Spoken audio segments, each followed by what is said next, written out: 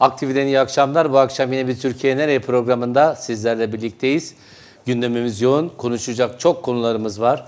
Tabii ki e, İstanbul'daki Cumhuriyet Halk Partisi Ataşehir Cumhuriyet Halk Partisi'ne mensup Ataşehir Belediye Başkanı'nın görevden alınması ile ilgili gelişmeler vardı bugün. O önemli bir gelişme ve e, Türkiye seçimler yaklaştığı platform içinde, o süreç içinde kutuplaşmayı arttıracak bu tür hareketlerden kaçınması gerekirken e, özellikle AKP'nin bir ana muhalefet partisinin e, bir belediye başkanına yönelik bu tür bir görevden almak ki bunların sayısının artacağı 6 belediye başkanının daha sırada olduğu iddiaları bugün yandaş medya tarafından gündeme getiriliyor.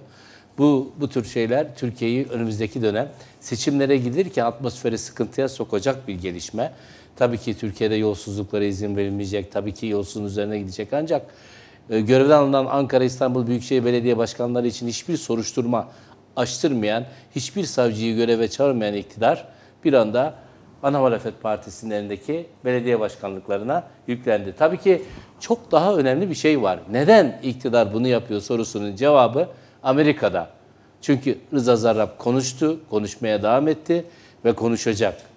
Ve ondan sonraki gelişmeler, çapraz sorgu var ve diğer gelişmeler var. Rıza Zarrab'ın anlattığı her şey Türkiye'deki bir soru işaretinin daha karşılığına yanıt olarak bir şeylerin yazılması ya da bir boşluğun doldurulması şeklinde. Zarab'ın bu konuda söyleyecekleri gerçekten çok önemli. Belki Amerika'da Türkiye'deki bu e, süre gelen dava ile ilgili yani Amerika'da süre gelip Türkiye'de yankıları duyulan dava ile ilgili Türkiye'de net bir karar alınmasa bile Amerika'da Amerika'da alınan kararların tüm yansıması Türkiye'de siyaseti mutlaka yönlendirecek, mutlaka etkileyecek. Size konuklarımı tanıtmadan önce hemen bir Amerika'ya bağlanalım tabii bu arada New York'a.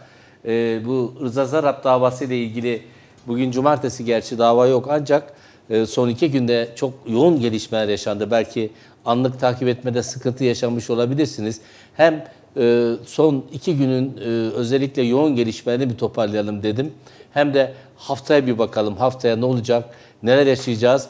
Karşımızda her zaman olduğu gibi Sözcü Gazetesi'nin dış politika yazarı ve bizim program ortağımız Zeynep Gürcanlı var. Zeynep iyi akşamlar. İyi akşamlar. Zeynep kolay gelsin. Zor bir dönem, zor bir özellikle atmosfer. Amerika'da hava nasıl bilmiyorum. Kar yağıyor gibi görünüyor New York'ta. Soğuk mu hava? Havalar nasıl öncelikle Zeynep orada? Ee, kar yağıyor hakikaten lapa lapa yağıyor.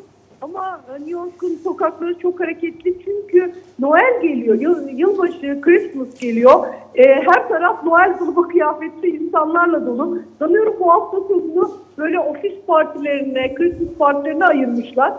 Sokaklarda e, hemen hemen herkesin üzerinde bir Noel Baba kıyafeti. Kıyafet bulamayanın kafasında Noel Baba şapkası var. Ee, çok hareketli bir e, New York var bugün kara rağmen. Anladım Zeynep. Tabii hareketin diğer bir yanı daha var. New York'taki bu mahkeme gerçekten hem Türkiye'yi hem e, Türkiye dışındaki birçok ülkeyi de yakından ilgilendiriyor. Belki Amerikan medyası bu davayla çok ilgili ilintili değil. Filin davasının katılmasından sonra belki etkili olacak. Ancak sana sormak istediğim şu. Ne oldu Zeynep? Bizim göremediğimiz, duyamadığımız ya da duymakta eksik kaldığımız, geri kaldığımız bize eğer son iki günü toparlayıp bir de hafta başı olacak onu eğer bize e, izleyicilerimize aktarabilirsen çok sevinirim. E, son iki gün hakikaten önemliydi. Çünkü Zarrab'la vedalaştık. Zarrab e, söyleyeceklerini söyledi, ifadelerini tamamladı. Çapraz sorgu da bitti. Ki şunu söylemem lazım. Çapraz sorgu son derece zayıftı. E, Atilla'nın avukatları savcılık kadar iyi hazırlanmamıştı ve Zarrab onları e, deyim yerindeyse çiğ çiğ yedi. E, her soruda önce bir hatırlamam lazım. Belgeniz varsa göreyim. İşte dedi, e, kimi zaman avukatı düzeltti, kimi zaman tercümanı düzeltti. E, tam bir zarrab şov yaptı. E, son olarak işte bu e, şeyden pek bir şey çıkaramadılar açıkçası avukatlar. Zarrab'dan bir şey alamadılar. Ama sonra savcılık tekrar kürsüye geldi. Ve tekrar kürsüye geldiğinde e, deyim yerindeyse son gün, son saat, Zarrab'la son gün ve saatte bombayı patlattı, ortaya koydu, çekildi. Bomba şu, e, bir tane e, E-mail, şey, e, telefon mesajlaşmasının fotoğrafı var. Kanıt olarak da girdi bu. E, bu fotoğrafa göre 2014 yılında yani Zarrab hapse, Türkiye'de hapse girip çıktıktan sonra tekrar ticaretine başlamak istemiş. Fakat e, o dönemin Halkbank Genel Müdürü e, biraz yan çizmiş, ayak sürmüş, e, bir dolu belge istemiş. Bunun üzerine Zarrab'da daha üst mevkilere gitme gereği duymuş. Bunun için de siyasi bağlantıları güçlü olan bu kendi ifadesidir. Bir avukatla çalışmış. Bu avukatla e, ki ismini açıklamadılar e, ama benim avukatım dedi. Siyasi bağlantıları çok güçlü dedi. Bir e, telefon mesajlaşması ortaya geldi. O mesajlaşmada bir damat geçiyor. Savcı sordu kim bu damat dedi. Berat Albayrak dedi. Kimdir Berat Albayrak diye sordu savcı. Enerji Bakanı ama o zaman daha bakan değildi dedi Sarraf. Bir Yani de tabii başbakan da geçiyor. Zeynep, Zeynep e, Riza Zarrab Berat Albayrak'ın adını mı verdi? Evet Re- e, Reza Zarrab Berat Albayrak'ın adını verdi. E, şöyle ki e, bu telefon e, mesajlaşmasında şöyle geçiyor. Avukatı ona bilgi veriyor. Diyor ki damat bu işin devamını çok istiyor. E, bu işi başbakana da ite- e, iletecekler ve bir toplantı sonunda yeniden başlama, başlayacak gibi bir mesaj veriyor. Oradaki damadı sordu savcı. Kim bu damat dedi. Orada ismini verdi. Kim Berat Albayrak dedi. Bunun üzerine de dedi ki Enerji Bakanı ama o zaman Enerji Bakanı değildi. Hakikaten o tarihlerde Berat Albayrak Enerji Bakanlığı görevine henüz atanmamıştı. E, sonra hakim devreye girdi. Çünkü mesajlaşmada DB, Bursa Bursa gibi bir kısaltma vardı. Bu DB kim dedi hakim. O da başbakan dedi. E, o da işte başbakanın adı da orada e, bir sonra yapılacak görüşmede geçiyor. E, ve şu, şunu da söylemek lazım. Kimin o zaman başbakan olduğunu anlamak için e, mesajın o kanıt olarak ortaya koyulan telefon mesajının tarihi Haziran 2014. Yani başbakan kim e, Zeynep? E, o dönemde Ağustos 2014'te biliyorsun Cumhurbaşkanlığı seçimi yaptık. Ve e, Sayın Recep Tayyip Erdoğan Cumhurbaşkanı seçildi. Bu mesajlaşma Haziran 2014'te. Ha, yani Recep Tayyip Erdoğan döneminde. Evet o döneme denk geliyor. Anladım Zeynep. Ya bu aslında yani bu Berat Albayrak'la Başbakan Recep Tayyip Erdoğan'ın bu soruşturma adlarının e, soruşturması adlarının geçmesinin anlamı ne? Bize vereceği mesaj ne olmalı? E, açıkçası bunu bilmiyorum. Savcılık çünkü bir yere kadar getirip orada bırakıyor. E, ve işte dediğim gibi Zarrab artık ayrıldı. Sorgusu bitti. Bir daha Zarrab'ı bizim görüp görmeyeceğimizi bilmiyorum. Ta ki yeni bir dava açılırsa eğer Zarrab'ın da e, tanık olarak dinlenebileceği bir dava açılırsa eğer e, o zamana kadar bizim onu görmemiz, görme şansımızın pek olduğunu düşünmüyorum. Şunu gördük. E, bir yere kadar getiriyor savcılık fakat orada duruyor mutlaka ve bir ileri noktaya hiçbir zaman götürmediler. Ee, hep kısıtlı tuttular siyasi bağlantıları. Açık açık çıkan işte bir Muammer Güler vardı. Ee, bir Zafer Çağlayan vardı. Bunların isimleri açık açık ifade edildi. Rüşvet aldıklarına ilişkin Zarrab tarafından bu iddia gündeme getirildi. Ee, o konularda uzun uzun konuşuldu. Süleyman Aslan'ın ne kadar rüşvet aldığını öğrendik Zarrab'ın ağzından yine. Ee, ama e, diğer siyasi yetkililer söz konusu olduğunda e, çok ileri gitmedi savcılık. Bunun iki nedeni olabilir bana göre. Ya yeni davalar, yeni iddianameler hazırlanıp mühürlendi. Ya da ikinci olasılık bu davayı çok fazla siyasi yapmak istemediler. Anladım. İşi daha teknikte tutup ceza için, Türkiye'ye verilecek ceza için sadece yasal temeli e, halletmeye çalışıyorlar. E, bunu bilmemiz mümkün değil. E, açıkçası zaman gösterecek. Zeynep peki son sorum hemen senden kısa bir yanıt istiyorum. Ee, pazartesiden itibaren önümüzdeki tablo ne?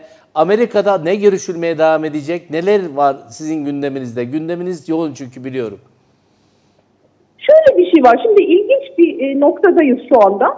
Çünkü şu anda CIA eski başkan yardımcısı, eski e, Hazine Bakanlığı müsteşarı e, ifade veriyor.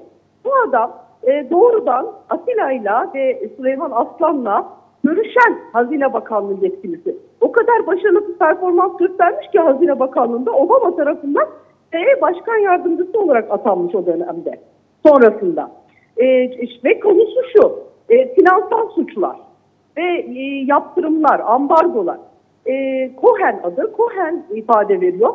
E şunu öğrendik, şimdi burada deniyor ya Türkiye ambargoyu tanımıyor, tanımadı, tanımayacak. Cohen'in ifadelerine göre Türkiye başından beri Amerikan ambargosunu altını çizerek söylüyorum, Birleşmiş Milletler değil. Amerikan ambargosunu başından beri tanımış. Cohen e, pek çok kez Türkiye'ye gelmiş. Halk Bank'ın yetkilileri pek çok kez Washington'a gidip Cohen'le görüşmüş. Ve her görüşmede Halkbank e, güvence vermiş e, Amerika Birleşik Devletleri'ne. Ne güvencesi? Biz e, İran yaptırımlarına sonuna kadar uyuyoruz güvencesi vermiş. Yani şimdi e, siyaseten söylenen o ambargodan bize ne, o ambargo bizi bağlamaz deniyor. Şimdi bugün için söyleniyor ama e, o süreç boyunca 2002 ile 2014 sonu arasında her görüşmede biz ambargoya sonuna kadar bağlıyız ifadesi kullanmış. Türk hükümet yetkilileri ve Halkbank yetkilileri. Bunu söylemek gerekiyor Fatih. Peki çok teşekkür ederim Zeynep. Sana kolay gelsin. Haftaya tekrar görüşmek üzere. Sen de hoşça kal. Ee, Allah yardımcın olsun. İşin zor. Yabancı bir ülkedesin. Ama bu işin de altından kalkacağını biliyorum. Ee, yolun açık olsun diyorum. Sağ ol Zeynep. Teşekkür ederiz.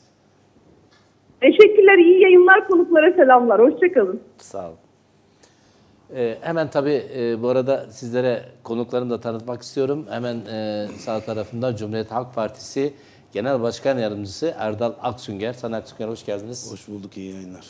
Sol tarafında e, yine ekranlardan bildiğiniz özellikle bu bizim ekranda ilk kez gördüğünüz ve tanıdığınız sonra tüm Türkiye'nin aşina olduğu bir isim.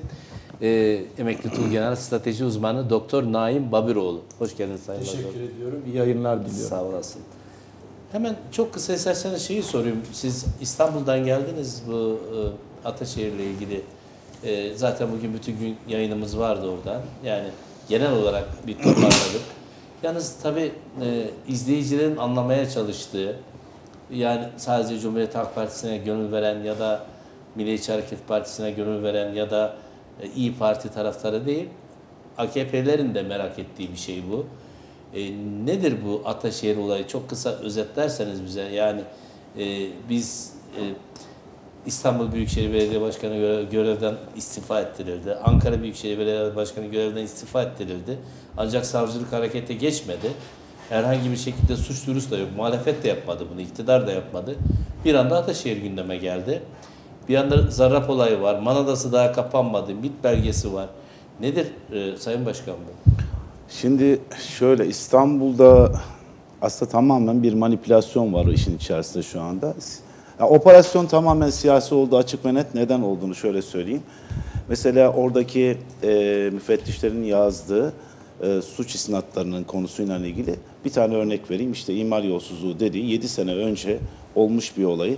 E, o olay aslında mevcut bakanlığa gelmiş, mahkemeleri görmüş, bakanlık reddetmiş bunu. Ha, bunda herhangi bir problem yok demiş.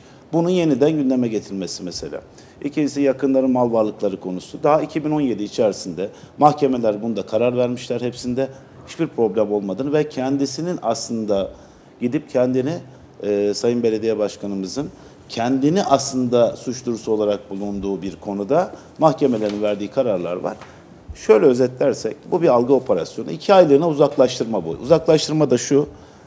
Efendim biz yeniden bunların hepsini açacağız bu davaların hepsini. Delil karartılmasın diye seni iki ay uzaklaştırıyoruz. Geçici bir uzaklaştırma yani. Normal şartlarda öyle böyle bir oraya kayyum mayyum atanmak gibi bir durum da yok zaten yani.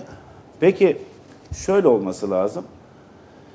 Bu iki ay sürecinde delil karartma dediğinin hepsi hukuka gitmiş daha önce veya bakanlıklara gitmiş zaten. E zaten normal şartlarda hukukta olan bir konunun, mahkemede olan bir konunun, dava konusu olan bir konunun hangi delilini karartacak zaten yani? Ne olacak zaten? Böyle bir şey yok. Bu tamamen siyasi bir operasyon. İşte özellikle iktidar bazı şeyleri can simidi olarak görüyor bu noktalarda. Zaten bunun kendine göre sinyallerini verdiler daha öncesinde. Ee, öbür tarafta istifa, bu tarafta iftira gibi bir durum var aslında bakarsanız bir yerinden. Ee, kendisi de çıktı dedi ki bunların hepsini zaten ben hesaplarını verdim. Siz yeniden bunları gündeme getiriyorsunuz. Aslında konu baktığınızda siyasi bir operasyondur. Bir algı yönetme operasyonudur. Yarın öbür gün kendi belediyelerinden bir iki tanesi de yaparlarsa millete çıkıp şöyle söyleyecekler. Herkese yapıyoruz tarzında bir şey var. İyi de e, bahsettiğiniz yolsuzluk, rüşvet veya yorulmuşluk neyse daha önce bahsettiğiniz kendi belediyelerinizden ilgili konuda bırakın mülkiye müfettişleri veya işte İçişleri Bakanlığı müfettişleri yapsaydı o zaman bunları. Peki başkan neden Ataşehir? Yani bir özel nedeni var mı? Nedeni var. Ne özel nedeni var? Şöyle. Nedir? Bizim en son yaptırdığımız anketlerden bir tanesi de İstanbul'daki en başarılı 3 belediye başkanımızdan bir tanesi görünüyordu. Ee, Ataşehir Belediye Başkanımız. Çok önemli bir şey bu. Yani çok değerli bir şey yani. Tabii ki tabii ki yani önemli olmaz olur mu? Ee, bu birinci iki- sembol bir insan. Ee, örgütüyle çok iç içe bir insan. Cumhuriyet Halk Partili gerçekten de her şeyinden Cumhuriyet Halk Partisi'nin her yerinde, her türlü organizasyonda elinden gelen her şeyi yapan örgütçü bir arkadaşımız bizim. Ee, başkanımız gerçekten o konuda çok başarılı olduğu için orada da ve o, e, o orada olduğu sürece de bir takım şeylerle ilgili sembol isimler üzerinden gitmek istiyorlar ki ortada işte bak sizin en güvendiğiniz adamda böyle bir şey var tarzında manipülasyon yaratmaya çalıştıkları için böyle. Anladım. Teşekkür ederim. Ee, gelelim aslında e, neden bu operasyon yapıldığı. Tabii ki e, baktığınız zaman gündem çok yoğun. Bir tarafta Rıza Zarrab olayı, bir tarafta Man Adası davası var. O iktidar onun altında bunalmış, sıkılmış MIT belgesini çıkardı Sayın Kılıçdaroğlu bir yandan o açıdan yüklendi ve iktidar köşeye sıkışınca bir anda gündemi e, değiştirmek istedi. Hatta şöyle bir şey var. 15 Temmuz için Allah'ın bir lütfu demişti Sayın Cumhurbaşkanı Recep Tayyip Erdoğan. Bir de Kudüs çıktı. Onun için de Allah'ın bir lütfu dediler. Çünkü Kudüs çıktığı gün Kudüs'te yani Trump'ın açıklaması Kudüs İsrail'in başkenti sözü üzerine bir anda gündem oraya kaydı. Evet. Ama orada çok ısrar istedi AKP. Halkın çok ilgisini çekemedi. Şimdi ikinci operasyon başladı benim gördüğüm. Bu belediye başkanları tartışmasını açarak belki unutturmaya çalışıyorlar. Peki öncelikle şunu sorayım konu başlığı olarak. Neden AKP Rıza Zarrab davasını bir anlamda Türkiye'de unutturmaya, yok saymaya ya da zamana yaymaya ya da yumuşatmaya çalışıyor? Ee, Yani nedir bu davanın özelliği? Önce onun bahsetseniz Şimdi bize. şöyle birincisi şunu söyleyeyim. Şu e, Amerikan ambargosu kelimesi çok doğru bir kelime değil. Bence oradan başlayayım da bunlarla ilgili. Ee, AKP şu anda özellikle çıkıp e, Cumhurbaşkanı özellikle her çıktığı yerde bu konu gündeme geldiğinde şöyle bir aslında e, savunma yapıyor. Biz mal satarız kardeşim İran'a. Bir dakika Sayın Başkanım. Bu arada şunu söylemek durumundayım. Sayın Aksünger Amerika'daki davayı inceledi, Türkiye'ye döndü ve hiç kimseye konuşmadan Halk TV bizi kırmadı sağ olsun teşekkür ediyoruz geldi. Ve ilk ağızdan dinleyeceksiniz çünkü davayı izleyen isimlerden birisi Sayın Aksünger. Buyurun. Şimdi e, şöyle e, bunu bir açalım isterseniz bu konunun aslında başlangıcından aslında e, belki de patlama hikayesinin olduğu yere gelene kadar neler yaşandı basit bir şekilde ama şu algıyı ortadan kaldırmak lazım. İran'a mal biz satarız demek şu yani. Sanki şöyle bir şey söyleniyormuş gibi. Ya Avrupa veya Amerika diyor ki sana sen niye İran'a mal sattın? Bakın diyor millileştirmek hani davayı buradan yani halka böyle bir şey anlatmaya çalışıyorlar. Tamamen manipülasyon. Neden olduğunu söyleyeyim. 2010-2011 döneminden itibaren Birleşmiş Milletler Güvenlik Konseyi'ndeki İran 2005'te özellikle uygulanan o e, ambargonun sert aslında kuralları nükleerle ilgili olduğu için bazı şeyler finansman yaratmasını önlemek için doğal gaz, petrol alımları bile kısıtlandı, kapatıldı neredeyse. Ama 2010'a 2011'e geldiğinizde gittiği zaman da ben söylemiştim. Şimdi Trump'a böyle konuşuyorlar. Ee, Obama'ya o kadar laf söyleyenlere söyleyeyim. Dünya Obama'yı çok arayacak demiştim. Amerikan başkanlarına şöyle bakın. Niye arayacak? Derisi siyah her şeyden önce demiştim yani. Yani Paris İklim Zirvesi'nden, Amerika'da yaptığı aslında sağlık reformlarından, İran'la ilgili ambargonun yumuşatılması, bu Vahabilik, Sele- Selefilik konusundaki yaptığı aslında set çekmelerle Obama farklı bir adamdı. Parantez içinde söylüyorum bunu. Onun girişimleriyle ambargo hafifletti. Şunu söylediler. Dediler ki İran'a herkes mal satacak. Hiçbir problem yok. Doğalgazda, petrolde alabilirsiniz. Ne istiyorsanız onu alın. Hiç problem yok. Bir tek şey var. Kendi ülkenizde onun bir hesabı olacak. İran'ın bir hesabı olacak bankada.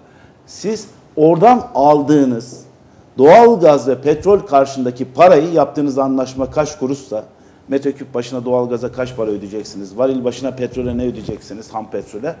Karşılığında 5 milyar dolar mı? 10 milyar dolar mı? 50 milyar dolar mı?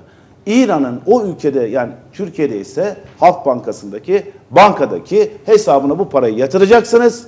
Sonra sizin ülkenizden ona para vermeyeceksiniz. Sizin tüccarınız, sizin iş adamınız buna mal satacak karşılığında parasını da keş olarak buradan ona vereceksiniz. Bakın ne kadar büyük fark. Şimdi bizimkiler bunu anlatırken niye böyle anlatıyorlar biliyor musun? Ya bunu niye milli davaya nasıl döndürebiliriz ki milleti algıyla götürmek için? Vuralım bir yerinden. Peki ne yaptılar bunun karşılığında? Problem ne? Problem ne? Ambargo burada şöyle deliniyor. Sana para verme diyorlar. Sen de diyorsun ki İran'a ben sana paranı öyle veya böyle vereceğim. Peki sormazlar mı adama niye vereceksin? Mesela Türkiye'nin İran'a parasını vermesi, ya mal satmaması Türkiye'nin lehine mi? Mümkün değil. Niye değil? Ya biz 50 milyar dolarlık domates satsaydık, salça satsaydık. Bakın çok basit bir şey. Aklınıza ne geliyor? Kağıt satsaydınız, tekstil satsaydınız 50 milyar doların en az yarısı Türkiye'nin içerisinde tortu olarak kalırdı. Aşağıdaki üreticiden, onun aracı kurumlarından, çalışanlardan, tarlalarda çalışanlardan yüz binlerce insan çalışacaktı 50 milyar dolarlık bir şey üretmen için. Ne yapacaktın? Domatesi salça yapacaktın, tekstil, limon, narenciye, kuru. Bunun en az 25 milyar doları içeride tortu kalacaktı. Türkiye KDV'sini de alacaktı kendine göre her şeyini, vergisini de alacaktı, karını da kazancını da içeride tüccarı da üretici de alacaktı. İçeride bu paranın hepsi Cari açık şudur kardeşim yani şudur. Sattığından aldığın arasındaki farktır yani. Cari açık bu. Dışarıya 100 milyar dolar satıyorsan mal, 150 milyar dolarlık mal alıyorsan 50 milyar dolar senin cari açığın var demektir. Bak sana ne güzel bir fırsat. Burada bir şey soracağım. Yani Halk Bankası'na İran'dan aldığımız doğal gaz ve petrol parası yatırılıp bloke ediliyor. Evet. Türkiye'deki iş adamlarının gıda ya da ilaç ya da başka bir şey ihracı karşılığında parasını gidip Halk Bankası'ndan alıyor. Nakit. Peki madem böyle bir düzen vardı, madem Türkiye kazanacaktı, halk kazanacaktı, millet kazanacaktı, o parayı Halk Bankası'ndan çekip nasıl altına çevirdiler, neden çektiler, kim izin verdi, niye Halk Bankası'ndaki İran'ın parasını çekip başka bir e, euro ve altına çevirip e, Dubai'ye gönderme ihtiyacı duydular? Hangi ihtiyaçtan kaynaklandı? Peki şöyle. Birincisi şu, ortada bir ihtiyaç meselesi yok. İran'ın buna ihtiyacı var bence. Zaten en haklısı İran. Ben de olsam ben de parayı isterim. Öyle biri bana getirirse. Şimdi burada bu siyasiler ve Zarrab işte orada bir beslenen aracılık yaptığı için bu üçlük pay, yüzde üçlük payla aralarında paylaştılar. Zaten bunun Komisyon. Komisyon karşılığında İran'ın parasını bavullarla bazen transfer ettiler İran'a. Bakın bunun da altını nasıl yaptıklarını biraz sonra belgeleriyle tek tek göstereceğim. Neler olduğunu, neler yapıldığını, nasıl yapıldığını falan da göstereceğim de. Böylece aslında ortada bir altın İran'a gönderilmesi de yoktu. İran'a bu özellikle bu 2012'den sonra 2011-2012'de biraz önce Zeynep'in bahsettiği Cohen meselesinde olduğu için söylüyorum. Cohen kim? İşte o zaman Amer- Amerikan e, hazinesinde e, bu denetimleri yapan kişilerden biri Cohen. Türkiye'ye geliyorlar. Türkiye'de bunlarla toplantı yapıyorlar. Bakın diyorlar bir sıkıntı var siz altın gönderiyorsunuz. Böyle bir durum var bir para var ortada bir e, şeyde.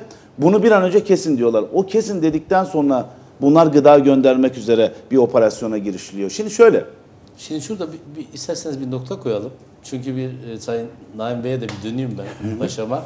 E, yani süre konusunu bir dengelemeye çalışıyorum.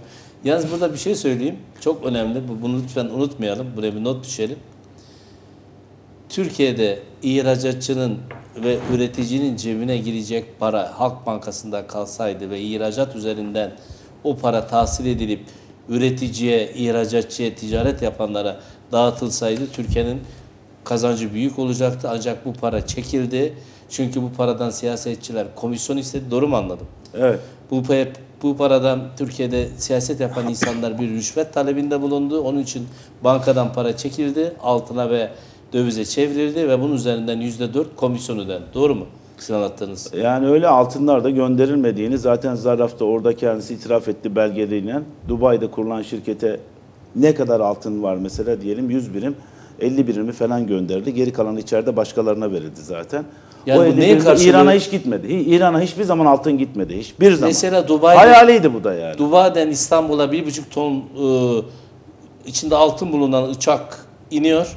Yok Dubai'den değil Gana'dan. Gana pardon Gana'dan Dubai'ye gitmek üzere doğru mu? Transit ticaret gibi aslında Tamam. Türkiye'nin yapacağı Peki bir şey. Gana'dan gelip İstanbul'da havalarına inip Dubai'ye hareket etmek üzere olan uçağı durduruyorlar. İçinden bir buçuk tonun içinden ne kadar altın rüşvet alıyorlar? O da var. 296 kiloya yakın, 290 kiloya yakın içinden çıkartılıyor. Geri kalanı gidiyor zaten. 290 kilo kime gidiyor sayın? Buradakiler aslında o, o bakın o rüşvet değil ama o ya, o doğru bir şey değil. Onu içeride satılıyor çünkü o. O içeride satılıp parasını farklı kullanıyorlar onları. Kendi paraları baştan peşin almış oluyor rüşvet paralarını. O büyük operasyonun bir kısmı o. Ya kendi paralarını peşin alıyor yani komisyon almıyor mu? Komisyonu Rüşvet peşin bu? alıyorlar evet.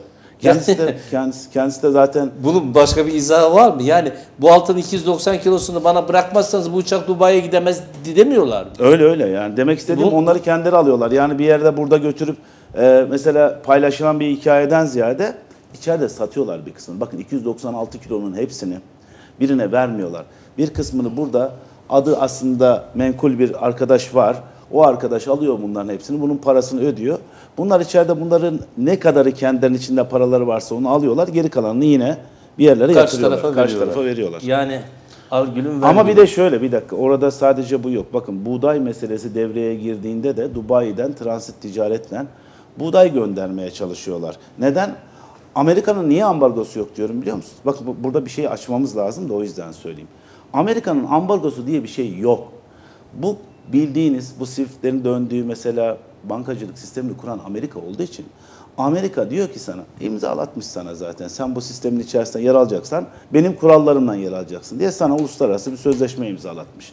Zaten biliyorsunuz uluslararası sözleşmeler bizim iç hukukun üstünde anayasanın 90. maddesi gereği. Yani orada senin imzaladığın uluslararası sözleşmeler varsa iç hukukta senin ne dediğin önemli değil. Bu, bu geçerli uluslararası sözleşme. Anladım. Şimdi Diyor ki orada sen benim para cinsimden konuyu transfer edebilmen için benim her zaman üzerimden döndürmen gerekiyor bunu. Bu sistem öyle bir sistem. O çevrim yani. O çevrimi yapman gerekiyor. Hatırlarsanız Kuveyt e, evet, e, Sayın Başkanım Kuveyt'i işgal ettiğinde Saddam Hüseyin daha sonra Irak'a Körfez harekatı yaptıktan Evet. sonra Saddam'a bir ambargo uyguladılar Irak.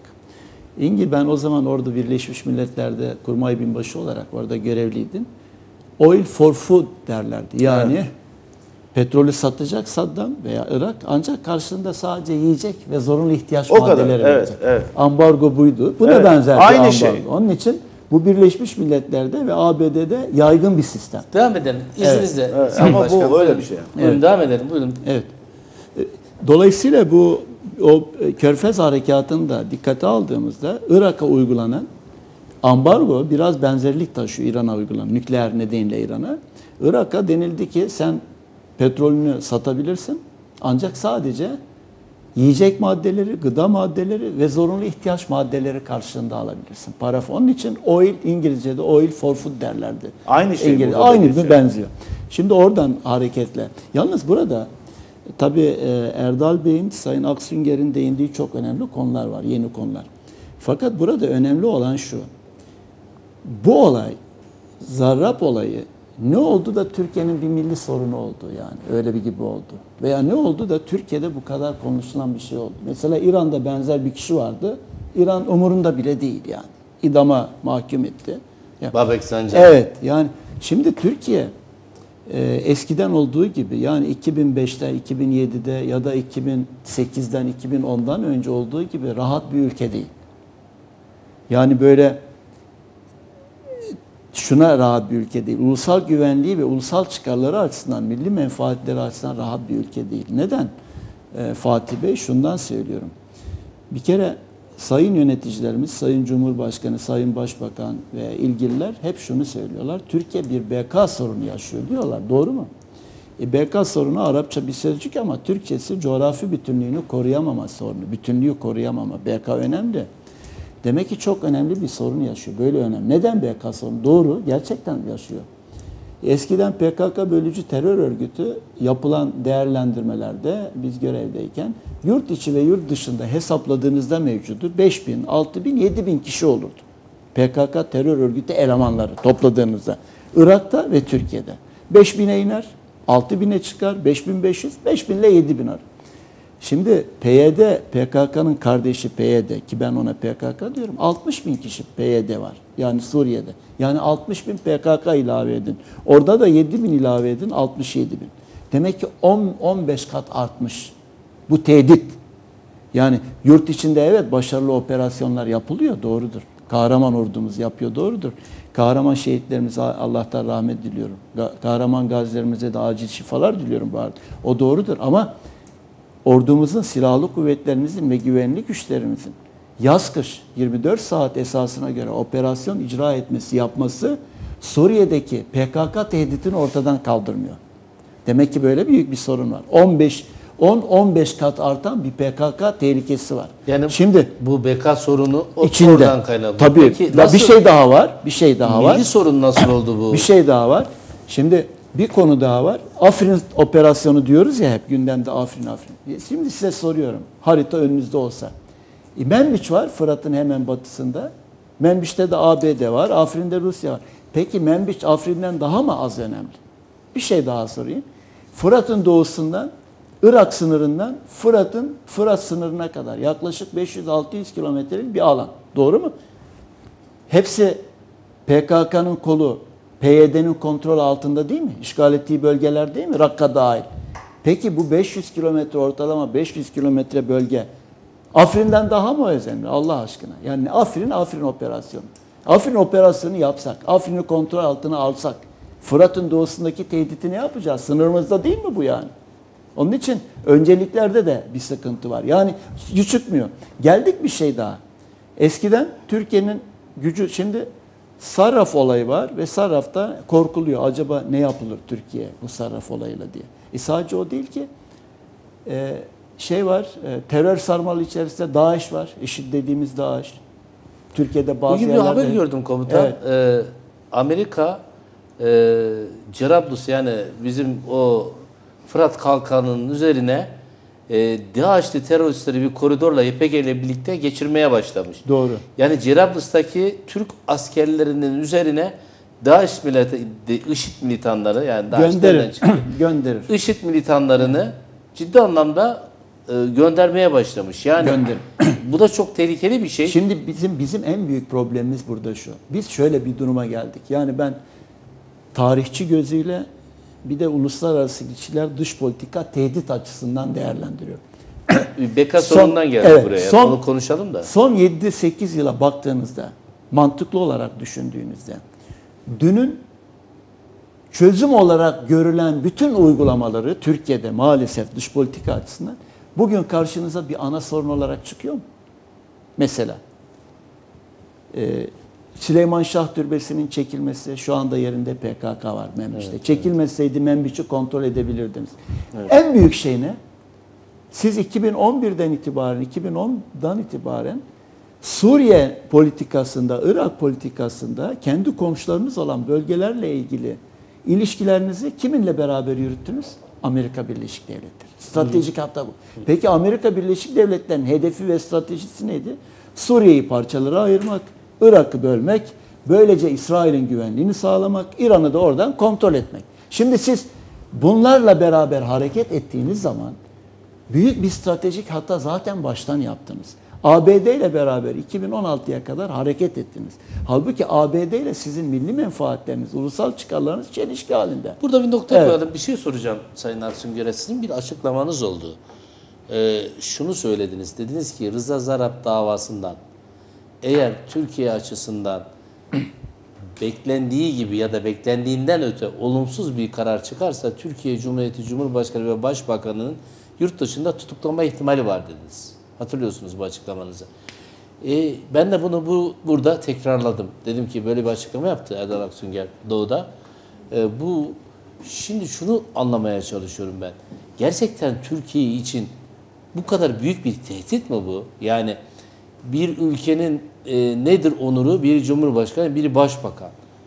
Bunların başına böyle bir iş gelmesi bile mümkün olabilir mi? Daha dava tamamlanmadı çünkü. Yani o siyasi tarafını biz çok önce söylediğimiz bir şeydi. Bu şey anlamda da söylemiyorum. Siyasi bacağından dolayı söylüyorum bunu. Yani şöyle bir durum var. Amerika Trump bunu bir siyasi davaya döndürmek istiyordu zaten bir yerinden baktığınız zaman. Ne demek siyasi davaya döndürmek? Ya ben bunu hukuki davadan çıkartırım, siyasi bir davaya döndürürüm. Ee, ama sana şöyle söylerim. Bak bunun karşılığında bana vereceğin tavizler şunlar, şunlar, şunlar, şunlar, şunlar. Bunları yapmazsan kardeşim ben bunu hukuki olarak devam ettiririm. Bu şu anlama gelmesin. Bu efendim bunun altı boş. Amerika şöyle yaptı da böyle yaptı. Hayır, elinde çok ciddi belge bilgiler var. Şimdi burada şunu yapabilir onun ikinci şıkkında. Türkiye'yi çok daha köşeye sıkıştırmak açısından da başka şeyler. Bu yapılan hataların karşılığında söylüyorum. Bir Türkiye'ye bedel ödetebilir yani kendine göre. İki bunu götürüp Türkiye'nin bütün hükümetine zaten öyle söyleniyor. Orada da ben söylemedim bunu. Bunu söyleyen aslında biraz önce Zeynep'in söylediği hikayeye benzeyen bir şey. Bir yere kadar geliyor savcı bir yerde duruyor. Bir yere kadar geliyor bir yerde duruyor. Ben de gördüm bunu savcı. e, savcılar da bir tane Yani savcı yok yeterli yani. delilleri topladığına inandığında duruyor. Kesinlikle Duruyor. evet duruyor orada Doğru. bir yerde. O Zaman çıkar. kaybetmiyor. Zaten Yani burada açıklanmıyor siyasi bunlar. Siyasi- şey mi? e, yani pazarlık şansını E tabii yani korumak için? Türkiye'nin hani Orta Doğu'daki bir sürü şeyinle ilgili de önemli konjonktürel BK dediği hikayenin biraz da temeli bundan Şimdi alakalı. bir Ama konu pardon burada bir şey daha var e, Sayın Vekilim. E, Fatih Bey burada önemli olan Sarraf Zarrab davası önemli. Ama Michael Flynn de önemli. o, o Artı- ona, geleceğim ben Evet, onu anlatacağım Artı şimdi. bir şey daha var. Basına çok yansımayan Fatih Bey. E, 20 Kasım, 24 Kasım sanıyorum. Yani bundan yaklaşık 10-15 gün kadar önce Mısır basını bir seferberlik başlattı. Sisi basın. Ve denildi ki, özeti söylüyorum. Diyor ki Mısır basını, Mısır'da 29 kişiyi gözaltına aldı 24 Kasım'da. Yani bundan 15 gün kadar. 29 kişiyi gözaltına aldıktan sonra iddia şu ve suçlama şu. Bu 29 kişi Katar tarafından finanse ediliyor. Türkiye tarafından yönlendiriliyor. Türk ajanı diye. Evet, Türk MIT'i tarafından yönlendiriliyor. İddia bu, iddia edilen yani Mısır tarafından iddia edilen basında ortaya çıkan o Mısır devletinin basını diyelim, Sisi'nin basını. Bunlar tutuklandıktan, gözaltına alındıktan sonra Türk hükümetinin veya Türkiye'nin veya Türkiye'deki istihbarat örgütünün Katar'ın finansman yardımıyla bu 29 kişi yönlendirerek orada casusluk yaptırdığı ve oradaki mevcut yönetimi devirerek Müslüman kardeşler ağırlıklı bir yönetim başa getirmeyi hedeflediği iddiasıyla gözaltına alınıyor. Şimdi bunu hafife almamak lazım. Bu ortam dikkat edin. Zarab davası, Flynn davası, Mısır'daki bu olay, şimdi bir Kudüs olayı var. Ee, Cum- Sayın Cumhurbaşkanı'nın bir de Yunanistan'a Ya yaptığı Kudüs Lozan- olayının ama bundan e, Lozan- hayır, ay- yani ay- şey- tamamen ayırmak tabii, lazım. Tabii ayırıyorum da, şey. ayırıyorum da Tamam. fakat şu var yani olaylara baktığınızda bu Mike Flynn Mısır'daki 29 kişinin gözaltına alması şunu bekleyebiliriz ileride. Bu Zarrab davası biraz sönmeye başlayınca belki Türkiye'nin başına Zarrab davasından da daha çok iş açabilir. İddia bu. Onu şuradan söyledim. yani ben şimdi oraya ben gelirsek- 29 kişideki o şeyi kastediyorum. Ona, ona Mısır- gelir. Michael Flynn'le ilgili Amerika'da Evet. söylenenler, edilenler, Michael. Flynn'in dışındayı Onun, kastediyorum. Michael Flynn de Hollanda'da yaptığı toplantıyı ben Amerika'daki bizim arkadaşlarımız anlattılar ne olduğunu. Yani şunu demek istiyorum. Türkiye rahat değil. Yani Yok değil zaten diyorum. değil de. Evet. Şöyle bu orada iddialardan bir tanesi bu e, Arap bankalardan birisinden e, o iddia ama burada orada çok önemli orada söylenen senden söylüyorum. Yani off the record kapalı kapılar ardında söyleniyor. E, terörün finansmanında kullanılmak üzere bir para transferinden söyleniyor bu iş ve bu para, terörün finansmanına getirdikleri andan itibaren Türkiye'de bütün üst yöneticilerin hepsine mutlaka başka bir sıkıntı yaratma olasılığı olur. Bunu bir siyasi şantaj davasına döndürürler mi? Döndürürler kardeşim. Şimdi Michael Flynn'in e, meselesi bu davayla eşgüdüm halinde yürüyor ama şöyle bir durum oluyor zaraf davasıyla ilgili. E, Michael Flynn'in Hollanda'da yaptığı bir toplantıyla ilgili çok büyük bir ayuka var ortada şu anda. Çünkü o Michael Flynn davasına bakan savcı aslında çok da başarılı bir adam. Obama döneminin en başarılı savcılarından biri olarak tanınıyor. E, bu davanın dışında yapılıyor bu, bu konu. Çünkü Michael Flynn bir Erdoğan karşıtı olan bir adam normalde daha önce. Ama bu Hollanda toplantısından sonra Türkiye'nin lehine e, ve Türkiye'den para aldığını, Türkiye'nin lehine lobi faaliyetleri yaptığını itiraf yani itiraf da demek değil de ifade etti bunları. Artık ne, e, olabilir tabii Türkiye'nin lehine e, lobi yapması için Türkiye para da verebilir. Bunda bir problem yok ama daha farklı konuların olduğunu söylediği bir konu anlatılıyor şu anda. O daha da tehlikeli bir duruma gidebilir. Rusya ile bağlantılı bazı işlerden içinde olabilir. Ama şu şeyi sonrasından Bir nokta koyalım. Bir reklama alalım. gidelim Sayın Başkan. Sonra dönüşte sizinle ona devam edelim. Sonra tekrar komutana dönüp biraz bölgeyi tekrar Evet, bölge evet, çok sıcak evet. çünkü. Orada yarım kaldı çünkü. Evet onu da tekrar Evet. tamamlayalım. Bizden ayrılmayın. Az sonra e, Sayın Akyürek'ten e, e, çok e, Aksünger'den çok önemli belgeler gelecek. E, Kendisi Amerika'dan birebir getirdi ve bize sunacak ve olayın daha net aydınlanmasını ve neden Türkiye'de konunun ya da gündemin saptırılmak istendiğini bu belgelerden sonra siz de anlayacaksınız az sonra. Türkiye Nere'den tekrar merhaba. İkinci bölümdeyiz. Konuklarım Erdal Aksünger ve Naim Babiroğlu. Sayın Aksünger, e, ilk kez burada sizinle birlikte bu belgeleri konuşmaya başlayacağız. Önemli gerçekten. Siz Amerika'da çok yakından da takip ettiğiniz davayı. E, sürekli bir e, Türkiye'de Zarap davasıyla ilgili bir kafa karıştırma. İşte Amerika bize düşman. Amerika işte Zarap e, Amerika ile işbirliği yaptı. CIA ile işbirliği yaptı. FBI ile işbirliği yaptı. Amaç Türkiye'ye zarar vermek. Türkiye büyüdü, uçtu, gidiyor. İşte önünü kesecekler falan gibi bir e, tavır içindeler. Ancak e, Amerika'dan gelen bilgiler Amerika'daki savcıların ve yargıcın ayakları yere basan bir tavır içinde duruşmaya götürdüğü. Yani ispatlayamadıkları delili ya da yerine koyamayacakları belgeyi dillendirmiyorlar. Ve koydukları her şeyi de ispatladılar şimdiye kadar. Gelin, yanlışım var burada. Yok yok zaten şöyle bir durum var ortada. Hakim şunları söyledi orada konuşurken de. Ee, dedi ki savcılık makamına dönerek birkaç kere bunu tekrar etti. Birkaç gün ayrı ayrı. Bütün hepsinin güçlü olmasını istiyorum ben dedi. Ee, şundan söylüyor onların hepsinde bazılarını. Ee, sadece Zarraf'ın konuşmalarıyla bunları halledemeyiz tarzında bir yere getiriyor. Orada güçlü deliller derken bunlar maillerin dışında kendi tanıkları olduklarını da söylüyorlar savcılık makamı. İş bundan sonraki süreçte e, Zarraf'tan sonra diğer tanıkların gelmesiyle devam edecek. Yani özellikle güçlendirmek istiyorlar bunu. Şimdi ama şöyle bir durumdan karşı Yani karşıyayız. Zarrab'ın şu an yargılanma süreci tamamlandıktan sonra dava bitmiyor. Bitmiyor, bitmiyor. Ya zaten bundan an- sonra ne olacak bundan peki? Sonra, e, bundan sonra eğer bu karar mekanizması 22'sinde yani Christmas'tan önce, e, Noel'den önce e, tamamlanamazsa ocağa sarkacak. Ondan sonra bu tamamlanacak. Tamamlandığında şöyle bir şey, e, olay olacak. Burada bu 9 kişi yargılanan, gıyabında yargılananlar da var. İki tane tutuklu var. Yedi tane de aslında tutuksuz olan var. Bunlardan bu Abdullah Happani, işte Zafer Çağlayan veya işte orada bir sürü kişinin ismi Süleyman var. Aslan. Süleyman Aslan falan. Bunlar var. İşte bunların da gıyabında yargılanmaları ya devam edecek ya da bunlarla ilgili gıyabında da hüküm verecekler bazı konulardan ama sonrasında da başka davalar devam edecek bu sefer. Ama şunu söyleyeceğim. Buyurun. Süleyman Aslan meselesinde bir önemli kelimeyle başlayayım hemen. Davada gördüğüm en kritik yer burası bence. Ortada Halk Bankası'nın tuttuğu avukatlar var. Çok uzun zamandan beri. Viktor Rocco da bunlardan biri Mehmet Hakan Atilla'yı savunuyor. Ee, ilginç bir şey yaptı. Çok ilginç bir şey yaptı. Hatta daha sonra e, Zarraba'da bunlar çapraz sorularında bunu sordular daha sonra. Dediler ki bakın bunu Halk Bankası'nın tuttuğu avukatlar söylüyor. Niye böyle oldu onu bilmiyorum. Türkiye'nin bankası yani devletin bankası, milletin bankasının tuttuğu parasının avukat dedi ki bu konuyu rüşveti benim müvekkilim almamıştır dedi. Müvekkil Hakan Atilla. Ha- Mehmet Hakan Atilla'ya söylüyor. Alan diyor Süleyman Aslan'dır diyor. Bak bu ne demek? Suç kabul. Ama Mehmet Hakan Atilla yapmamıştır diyor.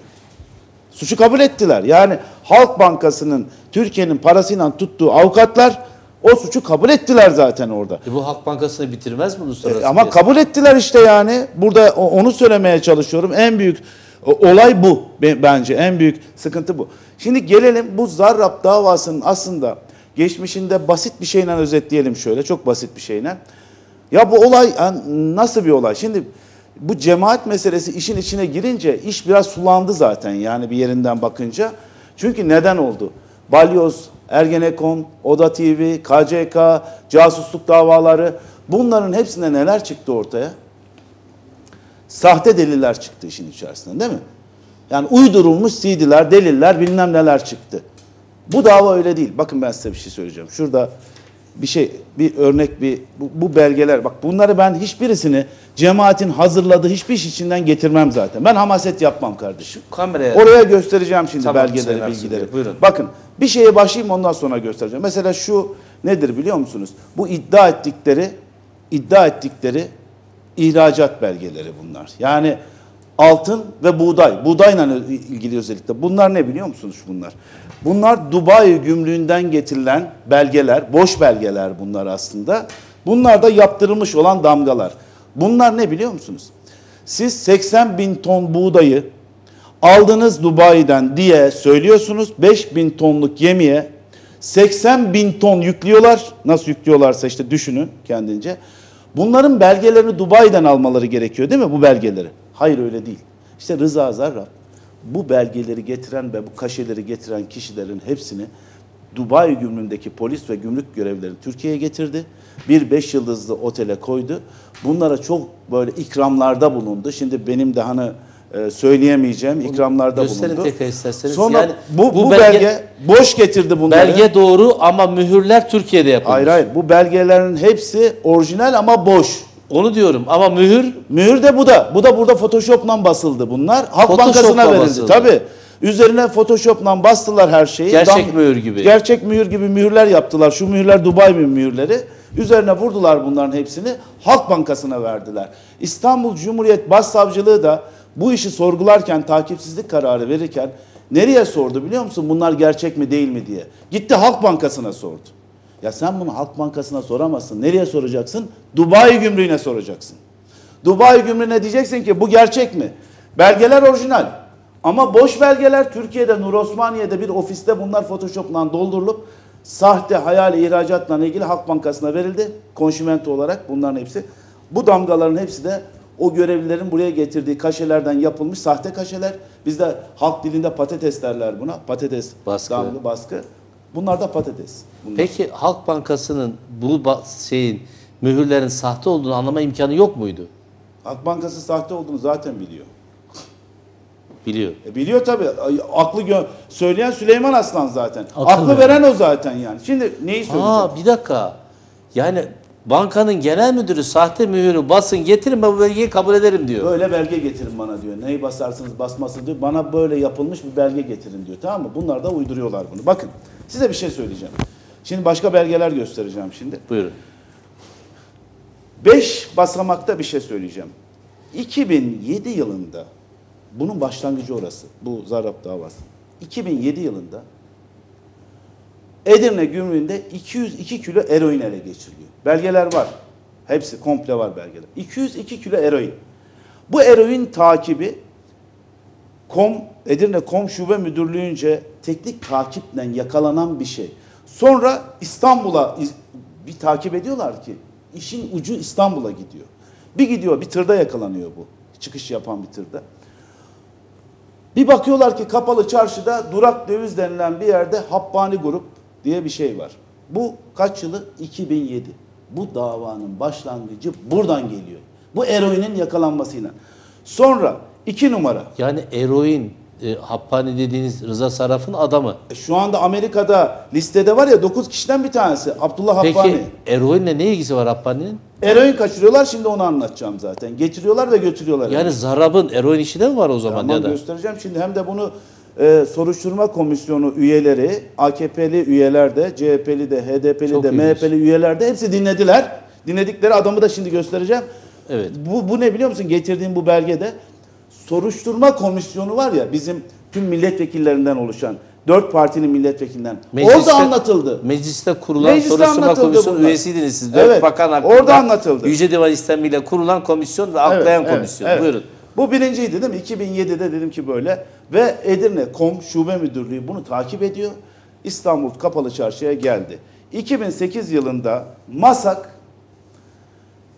ihbarlardan kaynaklı olarak bir rapor hazırlıyor. Bu hazırladığı rapor Diyor ki Masak'ta bak inceleme yapıldığı ve şahsın mali gücünün Abdullah İşcan diye biri hakkında yapıyor Masak bu incelemeyi. Diyor ki şahsın mali gücünün çok üzerinde şüphe arz eden para transferlerin tespit edildiği diyor. Sonra bu, bu niye bağlanacak onu söyleyeceğim. Somut bilgi ve belgelerin polisiye takiple Türkiye çapında yapacak bir takiple mümkün olacağını değerlendirmesini Masak yazıyor. Ve bunu nereye gönderiyor? Emniyete gönderiyor bunu komple. Masak'ın raporu bu ondan sonra. 2000 Masak Mali Suçlar Araştırma. araştırma evet. mali onu, onu belirtelim belki bilmeyenler vardır.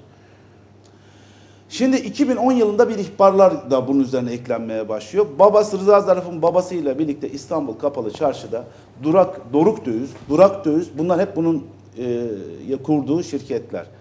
Elemanları kullanarak yurt dışına kayıt dışı para götürdüğü ihbarları geliyor. Bu da takip ediliyor. O arada Rusya'ya da para transferi yapılırken Rusya gününde Rus polisi yakalıyor bunları. 150 milyon dolarla. Doğru. Çantalarla yakalıyor. Bakın tekrar söylüyorum. Sonra geliyor, geliyoruz bu, bu iki. Üçüncüsü Masak Kom Daire Başkanlığı'na İstanbul Mavi, bak Mali Suçlarla Mücadele Şube Müdürlüğü'ne 2011'in 6. ayının 3'ünde bir rapor hazırlanıyor. Habbani grubu değerlendirme raporu diye. Bu Habbani grubu değerlendirme raporunda MASA'nın çok detaylı bir şekilde hazırladığı bu rapor aslında bu 2007'den beri bu Habbani grupla Rıza Zaraf'ın adamları bunlar zaten. Onlarla birlikte aslında yaptığı işin bir özeti. MASAK hazırlıyor bunu. Gönderiyor bunu. Bu, bu da 2011 yılı. Şimdi tek tek gittiğim için söylüyorum hepsini.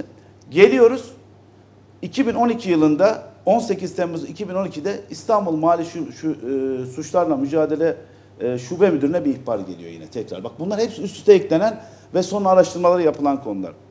Rıza Zarraf ve Abdullah Happani liderliğindeki bazı şahısların durak devizde kuyumculuk, kuyumculuk adı altında kara para akladıkları, uyuşturucu ve kaçakçılıkların paralarını transfer ettikleri ihbarı yapılmıştır ve araştırma başlıyor. Bakın bu ta 2007'den beri başlamış. Şimdi gelelim. Bunlar böyle burada dursun. Ben size bir şey söyleyeceğim. Biz bu soruşturma komisyonunu kurduk mu kardeşim? Kurduk. Bunu çalıştırmadı bunlar aslında. Bayağı uzun bir süre çalıştırmadılar. İki ay boyunca buraya aslında üye vermedi. AKP şunu yaptı, bunu yaptı. Biliyorum. Acayip acayip işler. Biz suç bulunduk falan filan. Bi- Bizim 46 tane tanığı dinlenmesi gerektiğini söyledik. 46 tane. Bizim dediğimiz adamlardan hiçbirini dinlemediler. Bir tek Orhan İnce denilen bir emniyet amiri, sürülmüş bir emniyet amiri. Bu adamın da cemaatçi olmadığı yüzde bir milyon bilindiği için çağırdılar bu adamı. O an kıyamet koptu aslında ama hiç kimse şey yapmadı. Ne anlattı bu adam biliyor musun? Dedi ki, bakın bu şu elimdeki şunlar, bu, bu bunlar soruşturma komisyonunun soruşturma komisyonunun tutanakları bunlar. Yani resmi Türkiye Büyük Millet Meclisi tutanakları. Ne yaptılar bunların hepsini? Sizden konuştuğumuzda ne yaptılar bunları? Yaktılar sonra. Bu ne biliyor musunuz? Adam bize geliyor. Hepimiz orada oturuyoruz milletvekilleri. Konuyu soruyoruz o da cevap veriyor. Bakın burada ne diyor adam? Ben size anlatayım. Diyor ki bir tanesini gösterirken hemen şuradan okuyacağım. Okun okun anlatın aynı zamanda. Bu Adem Gelgeç dediğin durak döviz işte bu Habbaniler şunlar bunlar falan dediği ortakta. Bu Adem Gelgeç bunların Rıza Zarraf'ın aslında paravan adamı. 2000 dolar maaşla çalıştırdığı bir adam. Orada zamanda bu da Erzurumlu. Bu Orhan İnce de o zaman Beyazıt Karakolu amiri. Bunlar tanışırken ta o dönemden bahsediyor o zaman. Bunu bize mecliste anlattılar ya soruşturma komisyonunda. Arkadaşlar şimdi bazı şeyler söylüyor. Ben diyor bak Orhan İnce. Ben Beyazıt Karakol amiri olarak atandığım zaman kendim Erzurumlu olmamdan dolayı Adem Gelgeç de oradaki polisleri soruyor. Diyor ki bir tane Erzurumlu emniyet amiri geldi. Beyazıt Karakol amiri olarak. O da geldi beni ziyaret etti. Ben Erzurumluyum. Kapar Çarşı'da durak döviz var. Onun ortağıyım. Hemşerim olarak geldim tanışmak istiyorum dedi. Toplum polis ilişkisi içerisinde hemşerimin e, olarak çay ikram ettim. Sonra gitti daha sonraki günlerde Rıza ile geldi yanıma. İşte bu e, bu da benim ortağım dedi. Ondan sonra Rıza bir daha geldi. Baktım samimi oluyoruz uzak durdum. Bu, bu tabii doğru söylüyor yalan söylüyor onlar ayrı konular. Telefonlara cevap vermedim. Adem Gelgeç Rıza Zarraf'ın kuryesidir. E, buna 2000 dolar maaş verir. Adem Gelgeç'in beyanına göre Dubai'de 3 milyar dolarlık şirket kurmuş. E, kendisini köle olarak çalıştırıldığını ve yurt dışında da buradan para çıkarttıklarını, yurt içine gelirken de hayali para söyleyip deklare ettiklerini bak hayali para deklare ettiklerini ama giren bir para olmadığını çıkan bir para olduğunu söylüyor. Bunu kim söyledi? Bizim tanık olarak çağırdığımız emniyet müdürü. Bak bunu söylediği başka bir şey söyleyeceğim şimdi. Ne demiş bak. Bak diyor ki Adem'in anlattığına göre yine ben soruyorum. Peki bu konuyla ilgili işte e, uyuşturucu meselesinden ilgili bir bilginiz var mı diyorum. Orhan İnce cevap veriyor. Burada ben de göstereceğim. Şöyle isterseniz tutayım şuradan. Onu Kemal arkadaşımız bir görsün. Ha, Tutun öyle. Şuradan diyor ki Adem'in anlattığına göre Rıza Zarraf'ın özel uçağı dünyada değişik yerlere gidiyor. Bu Suudi Arabistan'a gidiyor. Oradan Yemen'e geçiyor. Yemen'de de en güzel uyuşturucunun üretildiği, kokainin üretildiği ve benzeri şeylerin olduğu. Bunlarla ilgili afaki şeyler konuşuyordu yani. Hatta yani bunlar diyor sonra diyor ki bunları toplayıp Türkiye'ye getiriyorlardı diyor. Rıza Zarrab. Tabii bavullarla da koruyorlardı diyor. Bu, bu adam söyledi. Biz ben Peki Türkiye'ye Bu nasıl adam sokuyorlar? söylüyor. Nasıl sokuyorlar Türkiye? Gümrükten bunları bavulla sokuyorlarmış. Bu anlattı hepsini. Para diye de beyan ediyorlarmış bunların hepsini. Uyuşturucuyu. Evet, bu adam anlattı.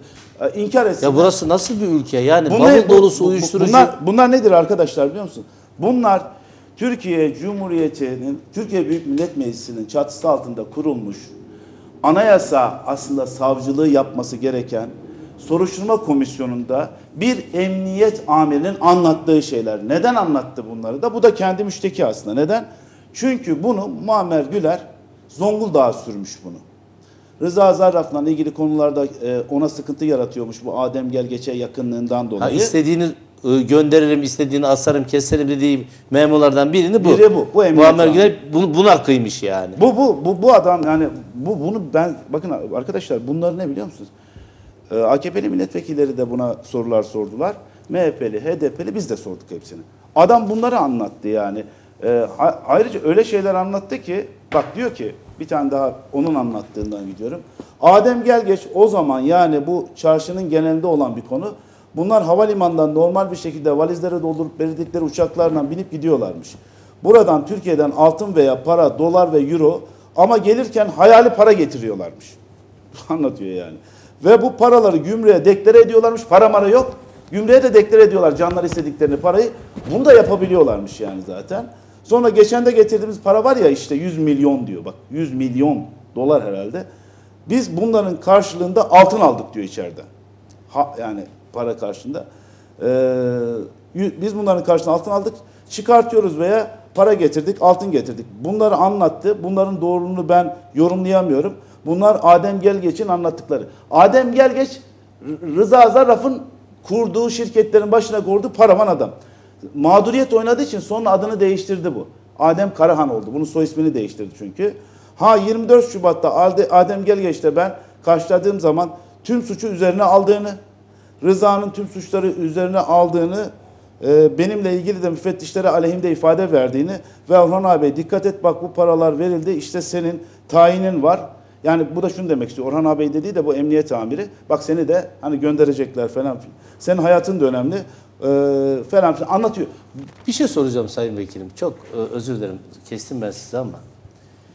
Bir ülke düşünün ki Şimdi- sınırından bir Evet. dakika. Sınırından valizle uyuşturucu geçiyor.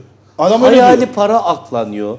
Yurt dışına gelmemiş bir para sadece Rusya'ya valizler içinde 150 milyon dolar götürülüyor. Bu ülkede emniyet var, MİT var, hükümet var, bakanlar kurulu var, başbakan var ve cumhurbaşkanı var. Peki bunların hiçbirinin haberi olmuyor mu? Oların oluyor zaten haberi. Onları da zaten anlatıyor. Şimdi bir şey söyleyeceğim. Bunların yanı çok önemli bir konu. Şimdi diyelim ki bunlar anlatıyor. Amerika'da bir mahkeme var. Biz de burada güya kendimize göre Türkiye Millet Meclisi'nde soruşturma komisyonu kurduk. Bu da bir mahkemeye gidiş yolu zaten. Bizim açımızdan öyle. Yüce Divan yolu. Şimdi ne oldu orada? Tapeler, mapeler, şunlar, bunlar. Bu sorumun cevabını vermediniz yalnız ya. Merak ettim Hangisini? yani. Demin size sorduğum sorun. Yani bu ülkenin MIT'i var, emniyeti var, e, masa var, polisi var, e, istihbaratı var, bakanlar kurulu var, hükümeti var, başbakanı var ve cumhurbaşkanı var. Türkiye'de 84 milyar euro kara para dönüyor. Yurt dışına çıkıyor giriyor. Uyuşturucu sokuyorlar. Uçakla bir buçuk ton altın getirip havalana indiriyorlar. Hiç kimsenin haberi olmuyor mu? Herkesin haberi var. Şimdi herkesin haberi şöyle var. Şimdi memleketi şöyle yaptılar. Haberi var tabii. MİT raporu nereden gelecek normalde? 18 Nisan 2014'te MİT Başbakanlığa bir rapor yazıyor. Bu yeni değil ki. O zaman da biz açıkladık bunu. Ee, bu rapor zaten vardı o dosyanın içerisinde de. Diyor ki bakın diyor bu Rıza Zarrab tehlikeli bir adam. Bir sürü kara işler yapıyor. Oraya buraya para transfer ediyor. Şu oluyor, bu oluyor. Daha ötesinde masaya gelen diğer konuları söyleyeyim size. Avrupa'da bu adamla ilgili bir sıkıntı olduğunu Avrupa'daki aslında mali işlerle uğraşan, mali suçlarla uğraşan birimler, Avrupa Birliği birimleri Türkiye'nin masalarına yazı yazıyorlar. Türkiye'nin masada alıyor, başbakanla yazı yazıyor, emniyete yazı yazıyor, ona yazıyor. Sonra Sonra işte bunlar Öyle e, hikaye. Ne bunlar montaj bilmem ne deniliyor. Bakın yani bir dakika. Başbakan'a bildiriyor. herkese bir MİT'e bildiriyor. Herkes. MİT Başbakanlığa yazıyor. Cumhurbaşkanı bile haber alıyor. Hiç kimse buna müdahale etmiyor mu? müdahale edenler var işte davayı buraya getiriyorlar işte bu adamlar. Sonra bakın bunlar cemaatçidir, şudur budur bunlar beni hiç ilgilendirmiyor. Neden olduğunu söyleyeceğim. Cemaatçi. Gerçek mi değil mi? Sen ona bak yani bu deliller var mı gerçekten yok mu? Bir şey söyleyeceğim. Buyurun. Şimdi montaj montaj denildi ya. Bu ne biliyor musunuz bu? Şu ne? Bu ne? Onu Montaj denildi ya. göstersin. Bütün konuşmalar. Hadi bu ne? arkadaş, tutun biraz onu. Bu. Türkiye bakın üzerinde de yazıyor. Adalet Bakanlığı adli tıp raporu. Bu rapor. Ne bu, bu adli tıp raporu biliyor musunuz? Tüm o dönem bu dosyanın içine girmiş olan tapelerin adli tıp gerçek olduğunu söylediği rapor. Buyurun rapor. O zaman yazıldı bu. Gerçek olduğunu söylüyor. Kim Hani söylüyor? Şu paraları sıfırla 30 milyon euro kaldı. O değil, o değil. falan değil, Onlar değil mi? Onlar e, onlar bakın onlar kayıt dışı dinlemeler. Bu, Onlar bu, bu resmi kayıt mı?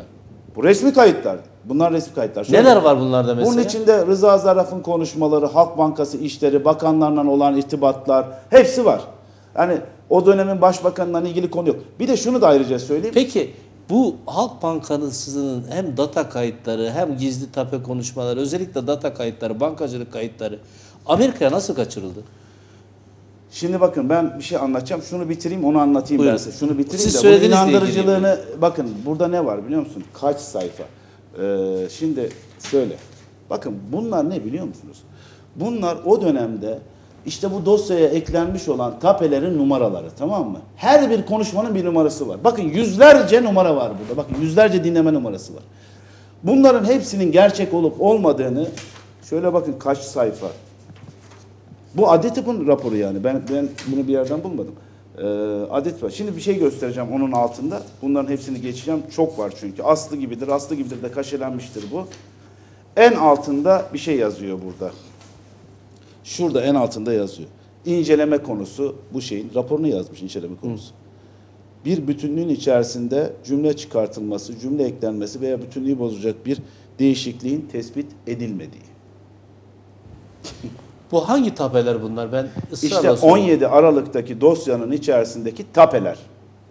17 Aralık'ın tümü o zaman O dosyanın çeken tümünün hepsi var burada. o zaman adli tip kayıtlarına göre gerçek. Gerçek. Bunu adli tıp, adli tıp. Bu adli tıp raporu kardeşim benim şeyim değil. Bir tane adli tıp raporu var. Bir tane MIT raporu var. Bir masak raporları var. Şunlar var, bunlar var. E şimdi, şimdi ne diyeceksin? bu Yani şey eğer bakanlar bakanlar iyi bir soruşturmayla, objektif bir soruşturmayla Yüce Divan'a sevk edilselerdi belki Bunlar- şu anda ABD'deki Amerika Birleşik Devletleri'ndeki Zarrab olayı Türkiye'yi ilgilendirecek. Ona hiç gerek ol... Kesinlikle yargılanmış Yüce Divan, olacaklar. dört bakan sevk edilecekti. Yüce Divan'da yargılanacaklardı objektif bir şekilde. O zaman Zarrab olayı şu anda Türkiye için bir önem taşımayacaktı ve orada insanlar bu kadar izlemeyecekti. Siyasetçilerin Yani hırsı, hata, stratejik hata. paraya o dört bakanın, hırsı. tekrar söylüyorum Fatih Bey, dört bakanın mutlaka Yüce Divan'da yargılanmaları gerekiyor. Türkiye, Hala, şimdi. kesinlikle. Türkiye bu lekeyi, Türkiye Cumhuriyeti Devleti bu lekeyi taşıyamaz. Dinliyorsunuz değil mi Evet, bu lekeyi taşıyamaz. Onun için bu Sayın Vekilim de söylediği gibi dört bakanın o meclisteki soruşturma, o tekrar mı soruşturma komisyonu yapılır mutlaka Yüce Divan'a sevk edilmeli gerekiyor.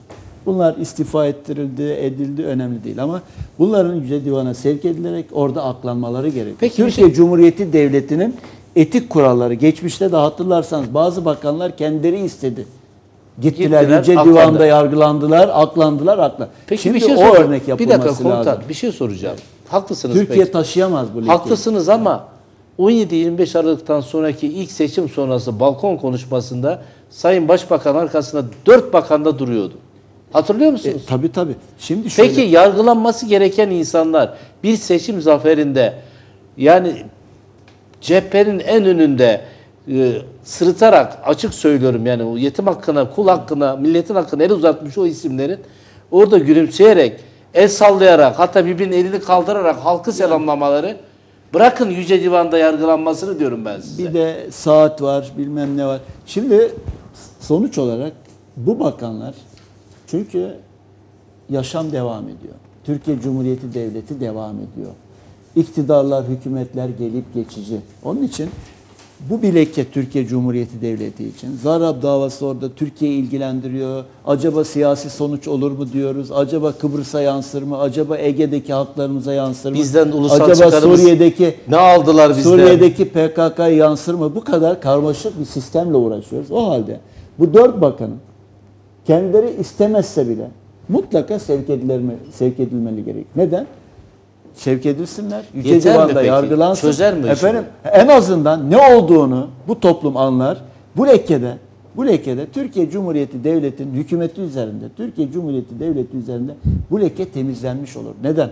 E geçmişte bakanlar kendi istekleriyle yargılandılar. Ben hatırlıyorum. Kendileri gittiler. Bakın- Veya e, 2002'den sonra hatırlarsanız dönemin eski başbakanı, bakanı yargılandı. Yüce Divan'da aklandı, aklanmadı ama yargılandı.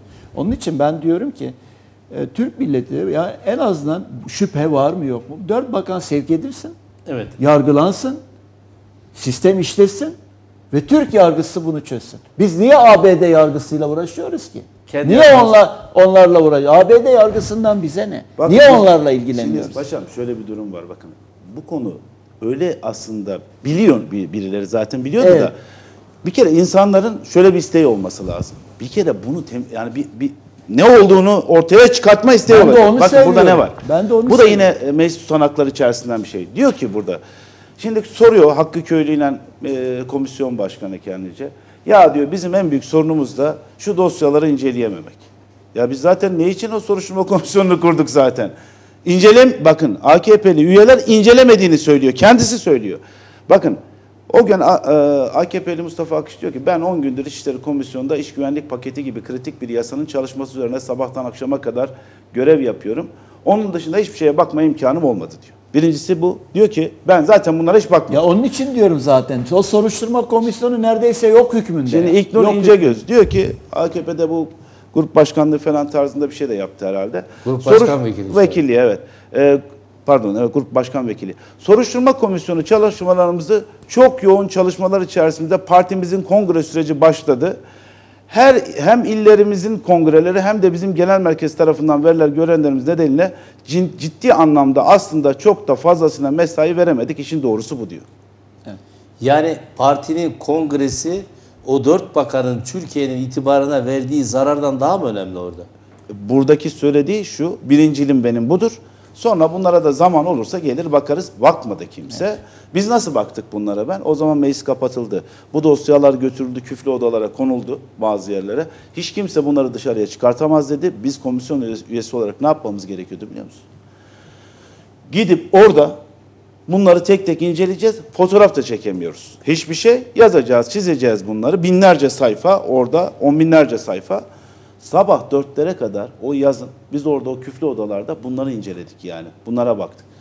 Bakın bir gün bile geleme, gelmemişlerdir. Bir kere bile bakmamışlardır. İşte ben de onu diyorum. Yani o soruşturma komisyonu demek ki tam istenilen dökümanları, isteyen evrakları, istenilen belgeleri toplayıp istenilen bir sonuca varamamış. Varamadığını kendileri söylüyor. O Bak- halde şu. Türkiye Cumhuriyeti Devleti köklü bir devlet. Bu köklü devlet ABD yargısıyla hareket edemez. Şüpheyi de kaldıramaz. Ben diyorum ki bu köklü devletin yapacağı iş, hükümetler gelip geçici. Ben devlet olarak söylüyorum. Bu dört bakanın tekrar yargılanması gerekiyor. Her şeyiyle. Zarab'ın söylediği en azından denecek yargıladık. Zarab'ın söylediği şunlar yalan çıktı. Belgeleri bu. Çünkü Türkiye Cumhuriyeti Devleti'nin yargısı niye küçük düşürülsün ki? Niye Amerika Birleşik Devletleri yargısına bazıları bel bağlasın veya bazıları ona dayansın veya dayanmasın veya siyasi sonuç olacak. Eğer bunlar yargılansaydı o dört bakan zamanında Yüce Divan'da.